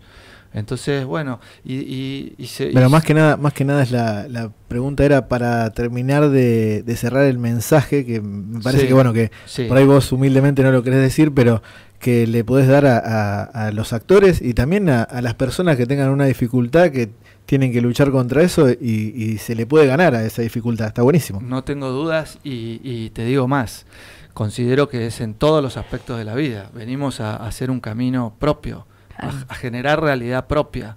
Y, y- y en eso está, para mí, está la vida y, Claro. el, y el fin último de esta vida. Eh, autoconocernos y autosuperarnos, ¿no? Me parece, es una opinión mía, pero creo que, que eso es lo divertido.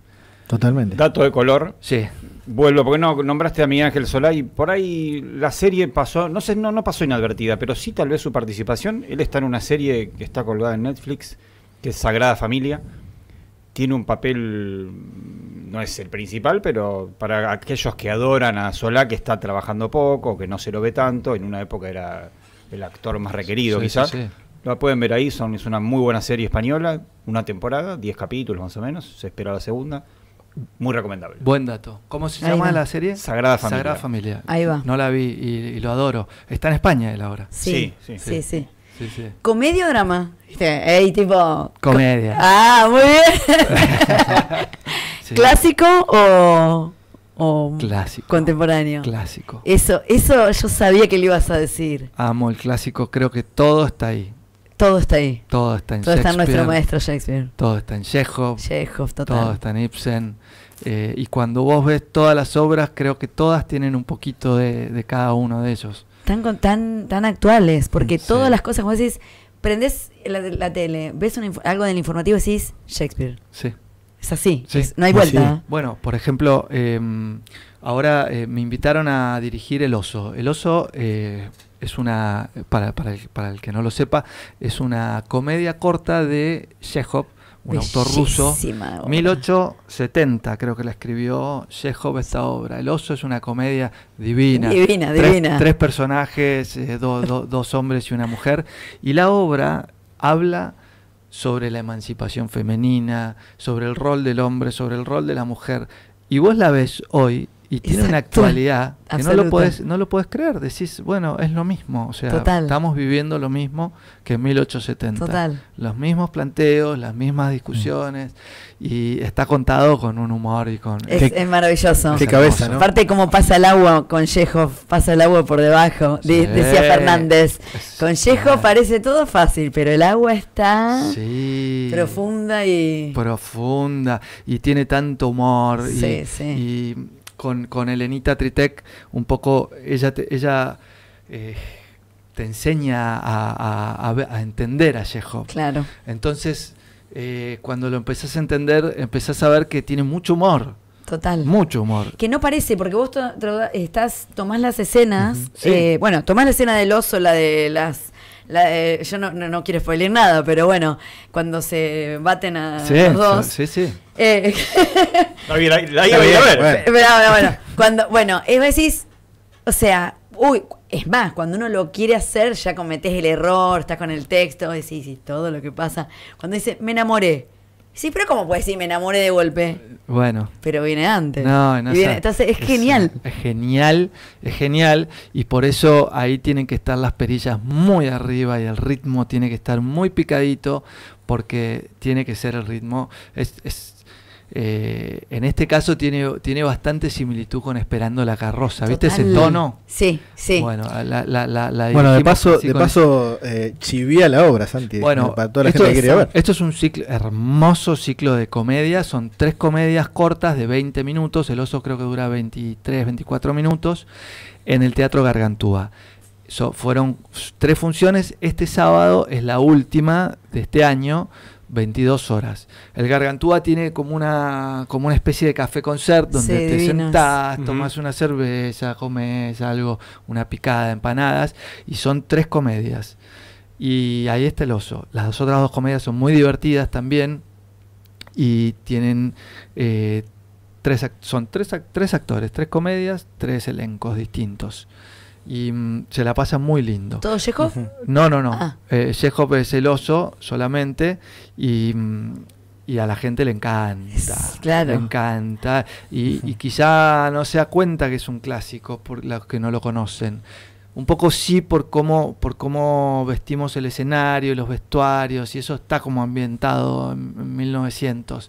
Pero, pero el ritmo que tiene y cómo pasa eh, no se nota que es un clásico. Y generalmente a Chekhov se lo hace muy solemne. Que total. Y es el error Es que aburrido. comete. Exacto. Claro. Y Exacto. Chekhov puteaba permanentemente, decía, hacen una obra que dura, Claro. que tiene que durar 45 minutos en una hora y media. Dice, Stanislavski arruinó mi obra.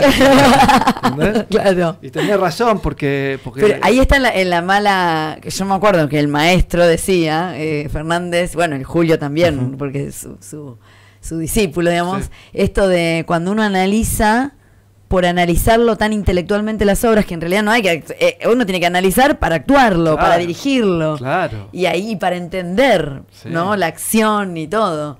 Y eso es lo, lo, lo interesante. Ese es, es un gran desafío siempre, Chekhov. Sí. Yo creo que Chekhov es hasta más difícil que Shakespeare. Eh, puede ser, puede ser, porque tiene es- eso de antiguo y actual.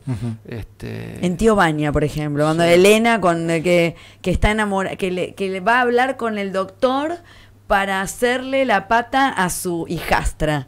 Y en realidad le está histeriqueando Claro, al doctor. claro. O sea, una cosa de, de una Sí, sí, sí. tremendo. Es una densidad terrible, pero si eso lo contás con humor eh, y con ritmo, eh, pasa. Ahí va, pasa, claro. Pasa y, y es divertido. Qué bueno. ¿Y las entradas grande. dónde las Ah, cierto, las Por entradas. alternativa teatral Sí. se llama Cortito y al pie. Eso, Se llama el ciclo. Muy Cor- bien. cortito y al pie. Muy Sábado- futbolero el título. ¿eh? Sí, sí, sí, sí, sí. Y bueno, estamos a tono. Estamos a tono.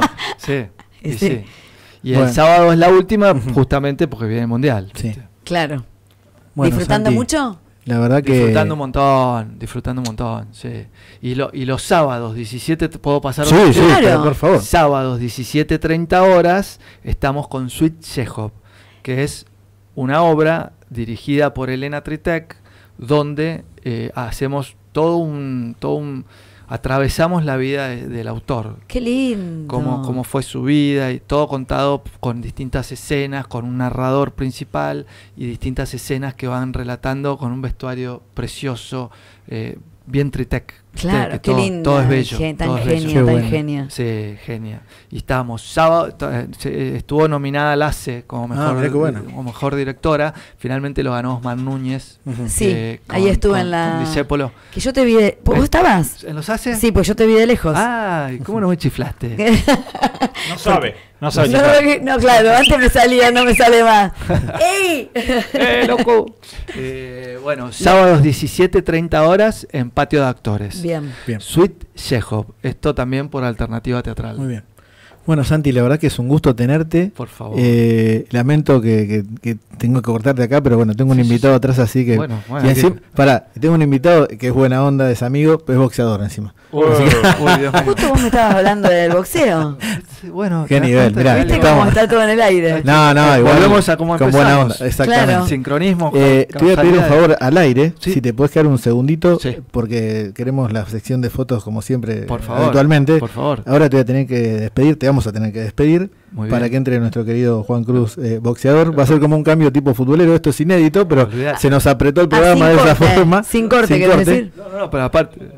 Ah, bueno, eh, acá el mágico Lucho me dijo que vamos con un temita. Así Aparte que vamos, un, Los un dedos de oro temita, tiene. un temita con, con dedos mágicos y volvemos en un segundito. Y viniendo el boxeador, me levanto rápido. Gracias, mucho éxito. Éxito, Gracias por, éxito, talento. gracias por venir. Gracias por tu talento. Grande, Marquinhos. Síganlo, síganlo.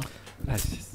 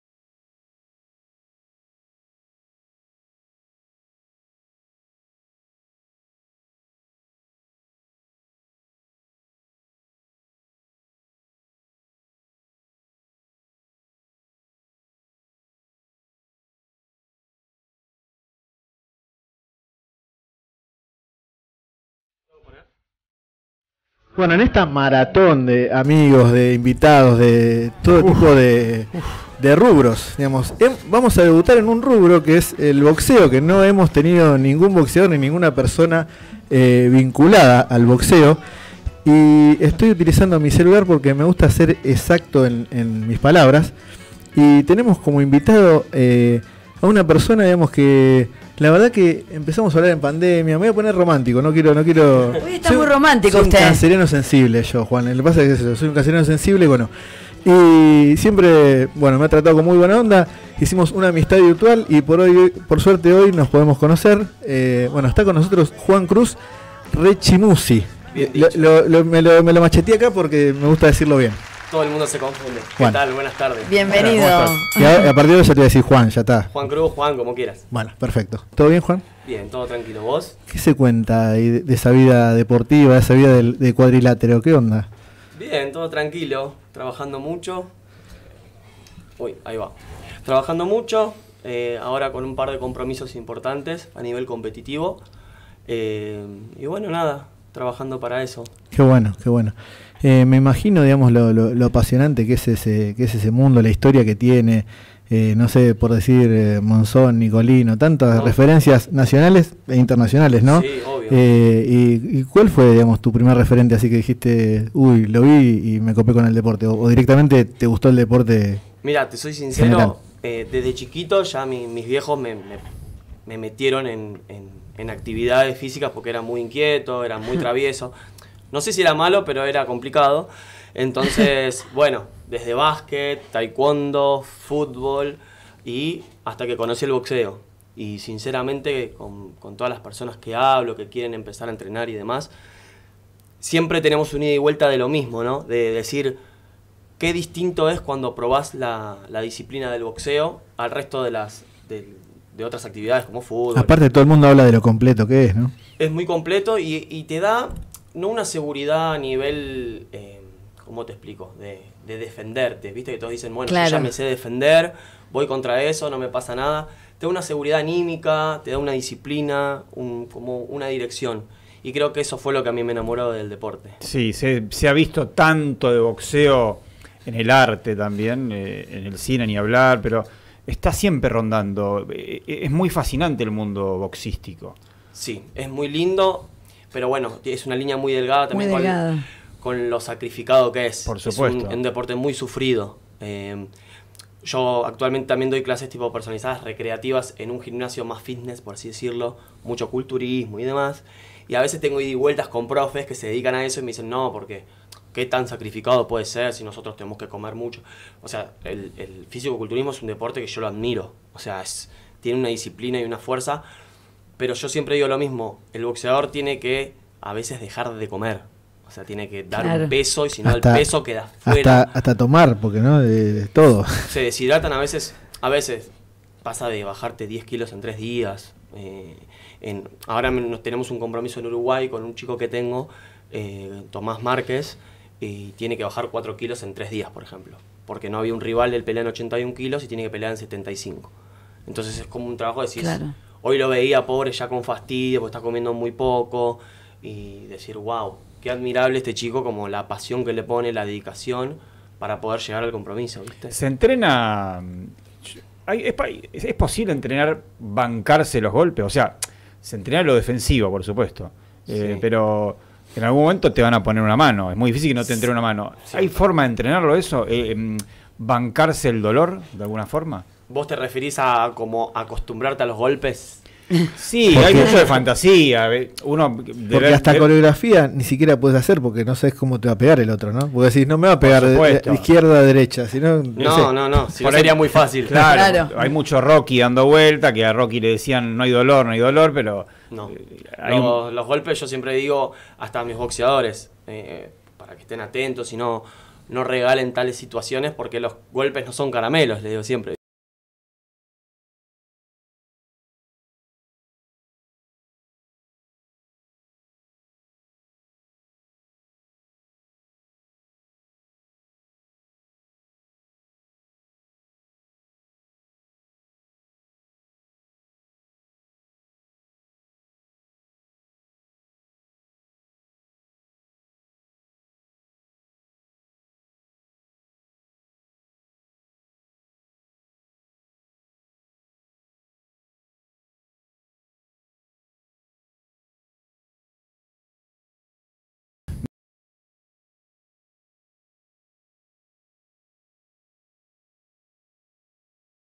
Artes marciales que pelean en una especie de jaula. Bueno, lo, lo que ven- UFC, MMA, sí, obvio. todo. Eso supera el límite que yo tengo y de- de- en cuanto a lo que tiene que ver con lo violento porque es demasiado crudo. Más allá de que hay reglas, Sí. eh, la verdad que es, es muy fuerte ver eso. No, sí, la verdad que amo el deporte de contacto y conozco chicos, colegas, conocidos que lo hacen y digo, realmente tenés que estar loco para hacerlo. Más allá de que te guste el contacto, que te guste pelearte, eh, es muy es muy salvaje, ¿viste? Es como Claro. que están la al límite de la muerte todo el tiempo. Claro, Claro, y la par- delgada línea también, ¿no? Entre la, eh, porque está lo físico, que debe de pasar obviamente también con el boxeo, está lo físico, pero está lo emocional ahí, como en todo deporte y como en toda actividad. La parte más difícil. Parte, cuando vos pegas, cuando vos golpeas algo, pegas una mesa y demás, de hecho, en la actuación hay un método opuesto al ponerle al que yo trabajo siempre, pero es eh, pego el golpe para, para que surja la emoción, dice esa, ese. En mi caso yo hago lo opuesto, ¿no? Entiendo, entiendo. Pero digo, porque uno pega una, en una mesa y te produce algo, ¿no? Emocionalmente, te da como una... eh, entonces... Una es- descarga. una descarga, una o te crees más fuerte, andás a ver con toda la, lo- la cabeza de cada uno. Entonces, Sí.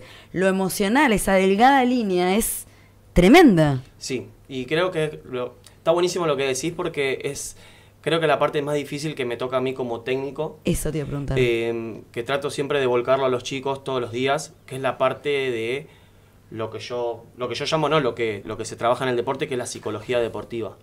Me parece que es una pieza fundamental en cualquier chico, porque estamos trabajando con personas. Claro. Claro, personas claro. que tienen problemas en la casa, que tienen un desamor, que tienen problemas económicos, eh, millones de problemas que uno como profe y alumno pasa ya a ser amigo, padre, Total. compañero de decir, loco, ¿qué te pasa? ¿Cómo lo podemos solucionar? Claro. Eh, entonces creo que la parte emocional, como bien decías vos, es eso, de saber controlar de que estamos pegando, estamos causando una consecuencia al otro. ¿Cómo lo trabajamos? Bueno, de esta manera. Y para eso hay profesionales. Claro. Psicólogo deportivo, yo soy el técnico, el preparador físico, el nutricionista. Entonces conforma un equipo de trabajo para poder entrar en competencia. A mí lo que me gusta del boxeo profesional es que mm, yo lo que veo desde afuera, lo que me parece, no sé si es una puesta en escena o qué, Mm. creo que en los últimos años hay una gran tendencia a proteger más al boxeador. Sí. De hecho, cambiaron algunas reglas hace mucho, ¿no? De 15 rounds a 12 rounds. Y ahora bajan otra vez, a 10. ¿A 10? Sí. Ah, bueno. Sí, campeonatos del mundo van a ser a 10. Ah, bueno. Y mucha intervención cuando aparece la sangre y se paran las peleas. O sea, hay como algunas reglas para seguir, por supuesto, pero antes eran muchas más, mucho más sangrientas las peleas. Y ahí vienen las típicas frases, ¿viste? Que te dicen, ah, el boxeo era el de antes. Claro. Claro, no, el boxeo pero- era el de antes, no. O sea, ahora tenemos más información. También es lo que yo siempre digo. eh, Está hablar- buena también la evolución. Es así. Yo estoy, Está recontra, yo estoy recontra de acuerdo porque primero está la salud. Estamos tra- hablando de la salud de una persona con un fin económico también, porque es un deporte para claro, lucrar. claro. Eh, si bien saca mucha gente de la calle por este tema de la disciplina y todo lo que hablamos, es un tema con, con fines económicos. Entonces tenemos que cuidar la salud de, de Claro. los chicos. Y eso está bueno porque evolucionó, hay más reglas, hay más cuidados, hay más controles. Eh, pero igual, bueno, pasan cosas heavies igualmente. Y sí. Pues estamos hablando de golpes. Claro, y sí, a- sí. estamos hablando de golpe, justamente esa- esto físico, ¿no? Que, que a su vez, bueno, está linda lo, lo emocional y lo que significa, lo que o podría llegar a significar. Yo recién cuando decías eso y, y estabas hablando de esto de, ¿no? de la delgada línea, decía qué interesante, porque en la actuación, yo siempre hago el deporte con la actuación, lo No, pongo... es tu mundo. Claro, Aparte y- a mí me gustó lo que dijo él, que, que el MMA, toda esa, toda esa disciplina, que bueno, que obviamente mucha gente la consume, es más salvaje. Yo creo que, que el- a diferencia del boxeo, que, que tiene muchas más reglas y, y otro tipo de dinámica. Digamos, obviamente que mucha gente que por ahí eh, no elige ver esos deportes dice, bueno, no es muy violento, hasta que se informa un poco quizá, porque también es como que, que también, este qué sé yo, hay gustos. Está, bueno, buen- che, está buenísimo lo que estás diciendo. eh, Creo que tiene que informarse. Y bueno, igual siempre hay una persona más grande en la familia que, que le va a hacer algún comentario o le va a hablar de un boxeador viejo y Sí, lo va, y lo va a traer eso también. Sí, pero me refiero a esto que acabas de decir de, de, de- de este deporte violento y que es muy violento y demás. Porque depende de quién lo juegue. También, si analizás todos los deportes, depende de quién lo haga, también Exacto. es una cosa o la otra. A eso iba, a eso iba. parte del talento, ¿no? No solo eso, sino que a raíz de lo que acabas de decir, yo me lastimo más jugando al fútbol que boxeando. Para que vos te des una idea. Yo actualmente no, no compito, no boxeo, primero porque no puedo porque soy técnico, pero cuando hago un guanteo es cuando lo haces sin público, sin competir, con cabezales, bucales y Bien, demás. Tipo olímpico, para decirlo de una forma. Claro, amateurismo, por así decirlo. Eh, me voy, sí, capaz que con algún golpe o no, pero no me voy lesionado. Y te puedo asegurar que voy a jugar un partido el sí. domingo con mis amigos Sí. y me voy con una patada, con una fisura en el pie. Claro, y sí, bueno, pasa, los bailarines nos pasa. Bueno, es depende como la perspectiva que vos tengas de- del deporte en sí. Yo te puedo asegurar que, viste que lo relacionan mucho con, bueno, no quiero entrar en un tema profundo, pero con el tema de los rugbyers, que son violentos, bueno, toda esa cuestión que para mí pasa desde la casa primero, la primera educación es en la casa y después el deporte. Eh, te puedo asegurar que vos te cruzás con un boxeador en un boliche y vas a ser la, única, la última persona que se va a pelear. Literal.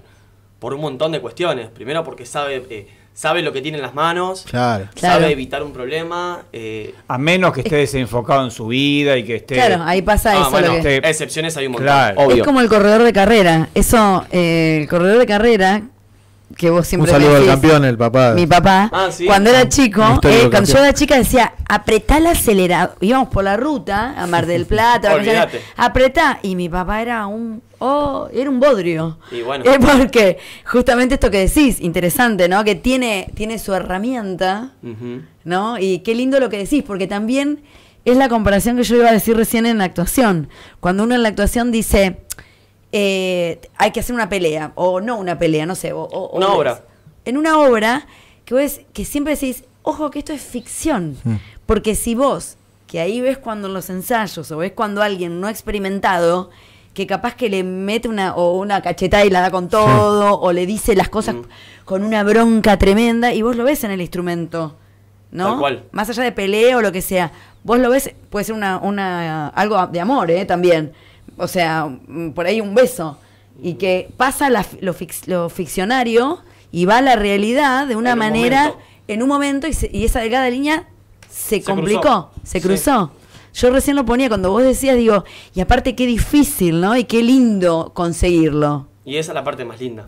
La parte más linda es esa, de, de decir, estamos acá en esta... Es como muy marginal, ¿viste? Estás al margen de, no sé, del caos y al margen de decir, bueno, lo logramos, ¿viste? Pero bueno, es parte de, de la profesión y cuando uno se dedica a lo que le gusta, ¿no? ¿Y cuándo encontrás ese momento de cuando estás boxeando, ¿no? Ese momento de. Uy, porque, porque le, eh, no sé, pongo comparación siempre. No, está bien. El, el futbolista metió el gol y pues es un. Orgásmico. Es orgásmico. Bueno. Yo no quería decir la palabra, pero lo iba a decir. No, pero sí, es se obvio. puede- fue- Claro, cuando vos haces un monólogo o algo y tenías que llorar y el director te dijo, acá tenés que llorar y todo, y, y conseguís la emoción, conexión, wow, es algo, es or- orgásmico. ¿Cuándo es eso? ¿Cuándo se consigue eso? Te lo digo como boxeador o como técnico. Como las dos cosas. me- me- Bueno, primero como boxeador, eh, no competí mucho, si bien nunca federado. eh, yo sentía satisfacción cuando, por ejemplo, no me cansaba o podía hacer lo que me decía mi técnico y cumplía en ese sentido.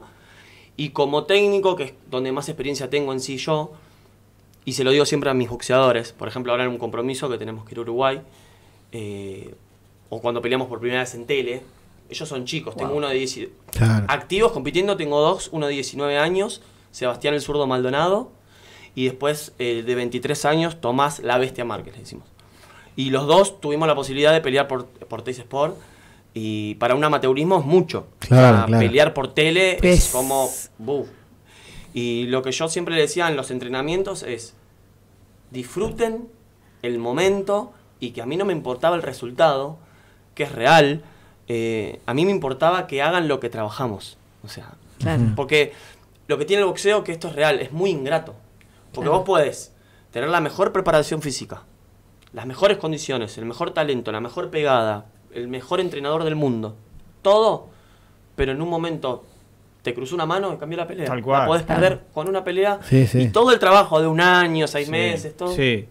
Te entró una mano. Por, por- mérito del rival o porque Lo que- vos te descuidaste un toque. Lo que no hay que tratar de hacer es eso, digamos, quedarse en eso, que, Exacto. que solamente que, bueno, vos tenés una buena zurda, no, no entrenes tanto, no, no, también No. está bueno reforzarlo con, con la otra parte porque hay pelea de un round y pelea de, de, de eso los, que acabas de de, los decir, 10. ahora eso que decís acabas de decir creo que es la clave de todo. Yo siempre les digo, trabajemos en lo que cuesta, no en lo que sale.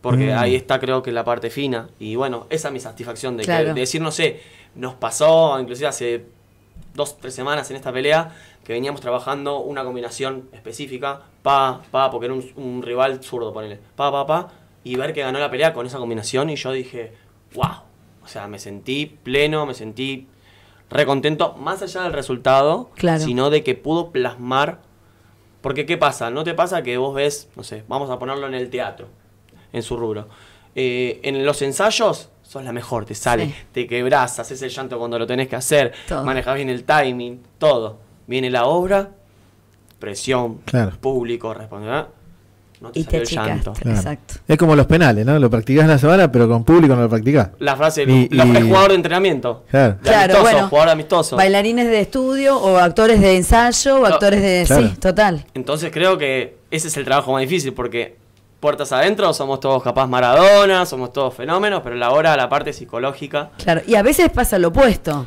Por eso, también pasa lo Pasa opuesto. lo opuesto. Porque... por eso, Juan, yo creo que hoy en día ya casi ni se discute el tema del coaching, de la psicología, de todo, No. porque es fundamental, es fundamental. En los últimos títulos, eh, sobre todo, bueno, yo miro mucho eh, deporte en conjunto, fútbol, básquet y otros deportes, eh, se le destaca mucho al- a, a esa parte y a ese aspecto, porque que es vital, digamos. Yo creo que el que lo deja de lado eh, este, se está perdiendo algo que está bueno también. Y está Porque- dejando afuera a los, a los, en este caso no es un equipo de fútbol, a los jugadores están dejando, le están evitando un mundo hermoso, porque es algo, es una herramienta, creo que súper necesaria. Para cualquier rubro, el que sea. Claro. Sea tu trabajo, sea el- si sos contador, eh, no sé. Sí. Seas un referente en tu área, creo que te dan herramientas como decir cómo tratar, porque cuando tratás con personas es distinto Claro. Claro. no sé, vos, yo hace poco era un empleado en una empresa y a mí me decían, vos tenés que, este cuadradito tiene que estar acá a esta hora. Listo, está acá, listo, de ahí no se mueve. Pero ahora yo te preparo a vos para que pelees y después quedan vos. Claro. Vos peleás. Claro. Vos te ensayás eh, una letra, vos te la tenés que acordar. Claro. Estás dependiendo de la otra persona. O sea, estamos Sí. trabajando con seres humanos, no con una computadora. Claro. Claro, Entonces claro, claro. ahí juega mucho el papel, el coaching, un mentor, lo que sea, pero la parte psicológica creo que... ¿Qué pasa con los knockout? O sea, ¿qué quiero decir? Vos eh, tenés a un chico que eh, lo, lo entrenás y empieza a ganar y mete muchos knockout. Tengo uno. Bueno, hay que manejarlo eso, porque por ahí el pibe se cree Y bueno. el mejor del mundo y... Y, estás, y estamos hablando de, de un deporte que es por su fuerza. Claro. Bueno, me pasa, me pasa, me pasa. En, realmente los dos son pegadores, pero es más noqueador este, lo que le decimos la bestia, Tomás Márquez. Eh, viene ganando mucho por... En amateurismo se dice RCC o lo, lo paró el técnico, el referee y demás. ¿Qué pasa? Siempre le digo, olvídate que tenés la mano pesada. Claro. No, no, no goces de tu fortaleza, no goces de tu fuerza. Y es el trabajo capaz que más difícil que tengo con él, ¿viste? Claro. Porque él sabe que tiene la diferencia al resto. Aparte Claro. es lo que lo va a hacer ganar la... O No, sea, sí y no. claro, O sea, sí, no, pues es verdad. Es un arma a doble filo, porque si vos sabes que vos la tiras, la tiras, la tiras, y tenés un Claro. boxeador, no sé, estilista, que sabe moverse, Claro. y, te, y, te, y te llama para que le tires esa mano, y Claro. esquivarte y contragolpear, te la puede ganar por Sí. puntos. Es la, es la famosa también, como está pasando en todos los deportes, que ya no se juega más con el nombre, ni con la calidad, ni con nada, sino también que estar bien físicamente, porque eh, es lo 100%. que estamos hablando de, de la zurda, de lo que fuere, ¿no? Porque, 100%. Porque hoy en día se transformó el, el físico en algo vital y que, y que en, En el, pareja. fútbol, en el fútbol también. y, Claro. que, y que en pareja, digamos, no quiere decir que el talentoso no se destaque, Entre dos talentosos, Pero- el mejor entrenado, el más disciplinado. pero se Claro, empareja, siempre, ¿eh? ¿no? Sí. Qué bárbaro. Yo creo que si vos no tenés condición física, eh, Claro, llega sí un ya punto de. Ya un, ya Sí. un nivel que quedás afuera. Llega un nivel que quedás afuera. Y esto que decís, eh, me, me- tengo una pregunta como que fuera de la, de la, de- del deporte en sí, digamos, pero sí de como la actividad, ¿no? Del boxeo. ¿A quién, eh, a quiénes recomendarías hacer boxeo así, pero a modo fitness y demás? A modo recreativo. Sí, exacto. ¿A quién, a quién recomendás? Mira, yo, aparte de lo competitivo, yo ¿O qué vivo, tipo de gente, vivo del boxeo recreativo, de Claro, alumnos claro. recreativos. Y tengo muchos, eh, no sé, eh, trabajadores de, ¿cómo se dice? De marketing, eh, empleados, o sea, empleados a nivel que tienen que ir a una oficina. Cuando prueban, perdón, tengo muchos, eh, muchas alumnas mujer, mujeres eh, que me decían, no, a mí no me gusta el deporte, el- el- los golpes, la violencia. Le digo, está bien, pero no te vas a pegar con nadie, me vas a pegar a mí en las manos, Claro, manopla se llama. claro. Bueno, empezamos con la parte aeróbica, ¿no? Toda la coordinación, qué sé yo, y vinimos a la parte de aprender a pegar. Una vez que probaron las manoplas y pegar, No. Es un viaje de ida. Sí. Además también que, que Es todo liberador. además Es que liberador, toda esa claro. parte, ¿no? La parte física no, no lo voy a descubrir yo, es, es uno de los deportes más, más completos. es todo el muy- mundo lo dice. Sí, y es, es muy, sí, es muy completo. Sí, Pero una vez que prueban. Ahí está. yo le dije, espera, que probamos. Claro. Y después me dicen, Bueno, ¿puede ser- ¿podemos hacer un round Antes de que termine la nota, quiero mandar dos saludos a Capocha, el productor Ah, de bien. Verónica Lozano, que bueno hizo que. Gastón, este, Capocha. Qué Gastón. bueno. Y a Sami, ¿no? Gran Sami. Casais. su A mi mujer. Eso, sí, sí, le mando un beso. grande. Te amo y a mi hijo. Y, a- y al- y al ¿Puedo niño mandar es unos bra- saludos Sí, cómo no, cómo Obvio. no. Ahí a la banda que me, que me- por Sí, favor. a la banda, están todos mirando. Bueno, no me quiero olvidar, pero bueno, vamos a poquito. Eh, primero, bueno, quiero saludar a, a Leopoldo González, donde tengo el gimnasio competitivo, que me, me bancan la carrera, me acompañan con mis bueno. boxeadores. ¿A dónde es? Esto es en Avenida Independencia 448 en San Telmo. Eh, medianamente cerca de acá. Sí, ahí prácticamente tenés todos los horarios para hacer boxeo. Muy bien. Recreativo, competitivo y solamente físico, si querés. Em, bueno, a todos mis compañeros de boxeo, eh, que son otros profes, Emiliano Capuzzi, Fernando Jiménez. eh, tengo que mandarle un saludo a mi preparador físico, porque me estuvo preparando él, porque si no estoy, no aguanto los golpes de los boxeadores. Claro. Ah, claro. Juan Pablo Cámara, le mando un saludo. Y después, bueno, quería comentarte esto que, que es muy importante para mí, que vamos a, a pelear en Uruguay. Qué bueno. Es un torneo Mercosur de Uruguay de un promotor muy conocido, Samsung, eh, que nos habilita a ir al año que viene, si Dios quiere, a México para pelear el título de la WBC. ¿Viste, el, bueno. el- ¿viste el cinturón verde con dorado. Sí. del mundo? Pero de amateur.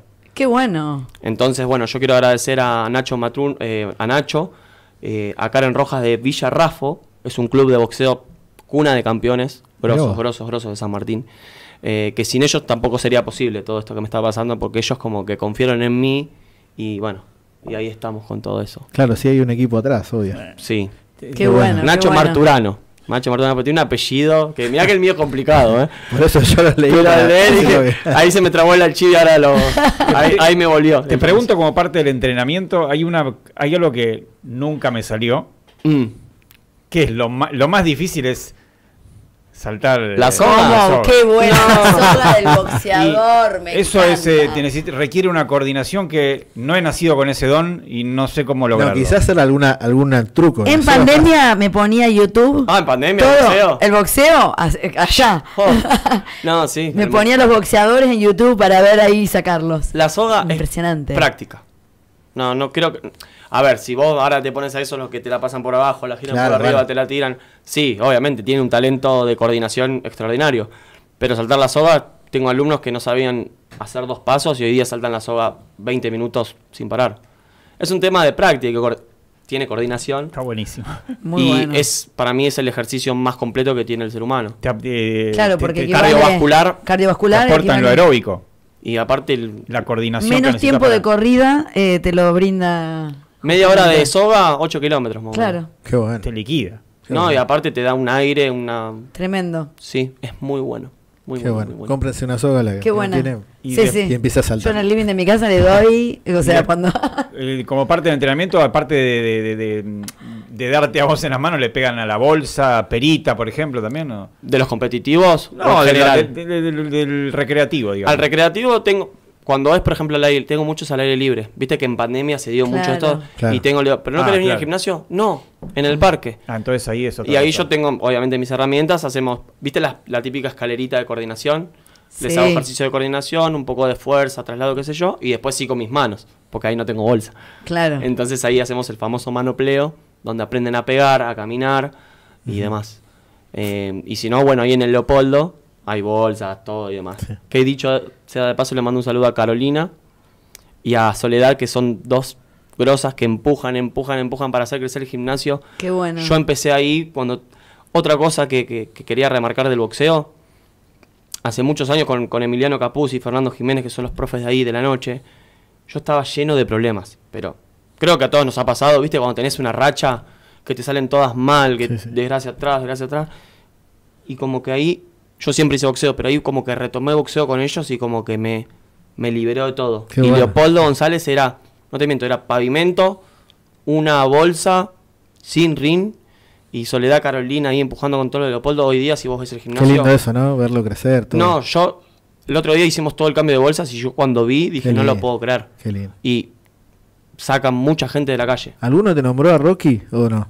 De los, de los chicos. De los que van así, nada, no, no. Soy muy Bueno, viejo. de ¿no? época. Lo que pasa es que Rocky es buenísima la película, pero es muy ficción. Para, Claro. que, para Claro. que es del palo del boxeo es como muy ficción. Claro. Y, Y de, ese- y de maravilla que dos o tres palabritas, así, dos o tres como palabras que te vengan. Eh, no sé, palabras que se me vengan.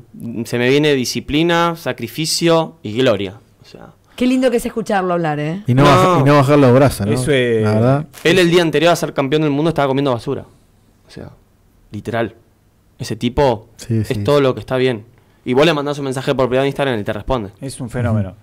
No, Aparte no, se sí, metió, sí. se metió a hacer stand-up también. pero- Lo conocí, lo conocí a, través del stand-up, yo lo conocí. Ah, lo conociste vos, ¿no? Sí, sí. ¿Y qué te parece? fenómeno, No, pero ahí te das cuenta cuando Fenómeno. una persona es la famosa grandeza, la verdad, es cuando una persona decís, viste que uno los La tiene como de los inalcanzables. grandes, Claro.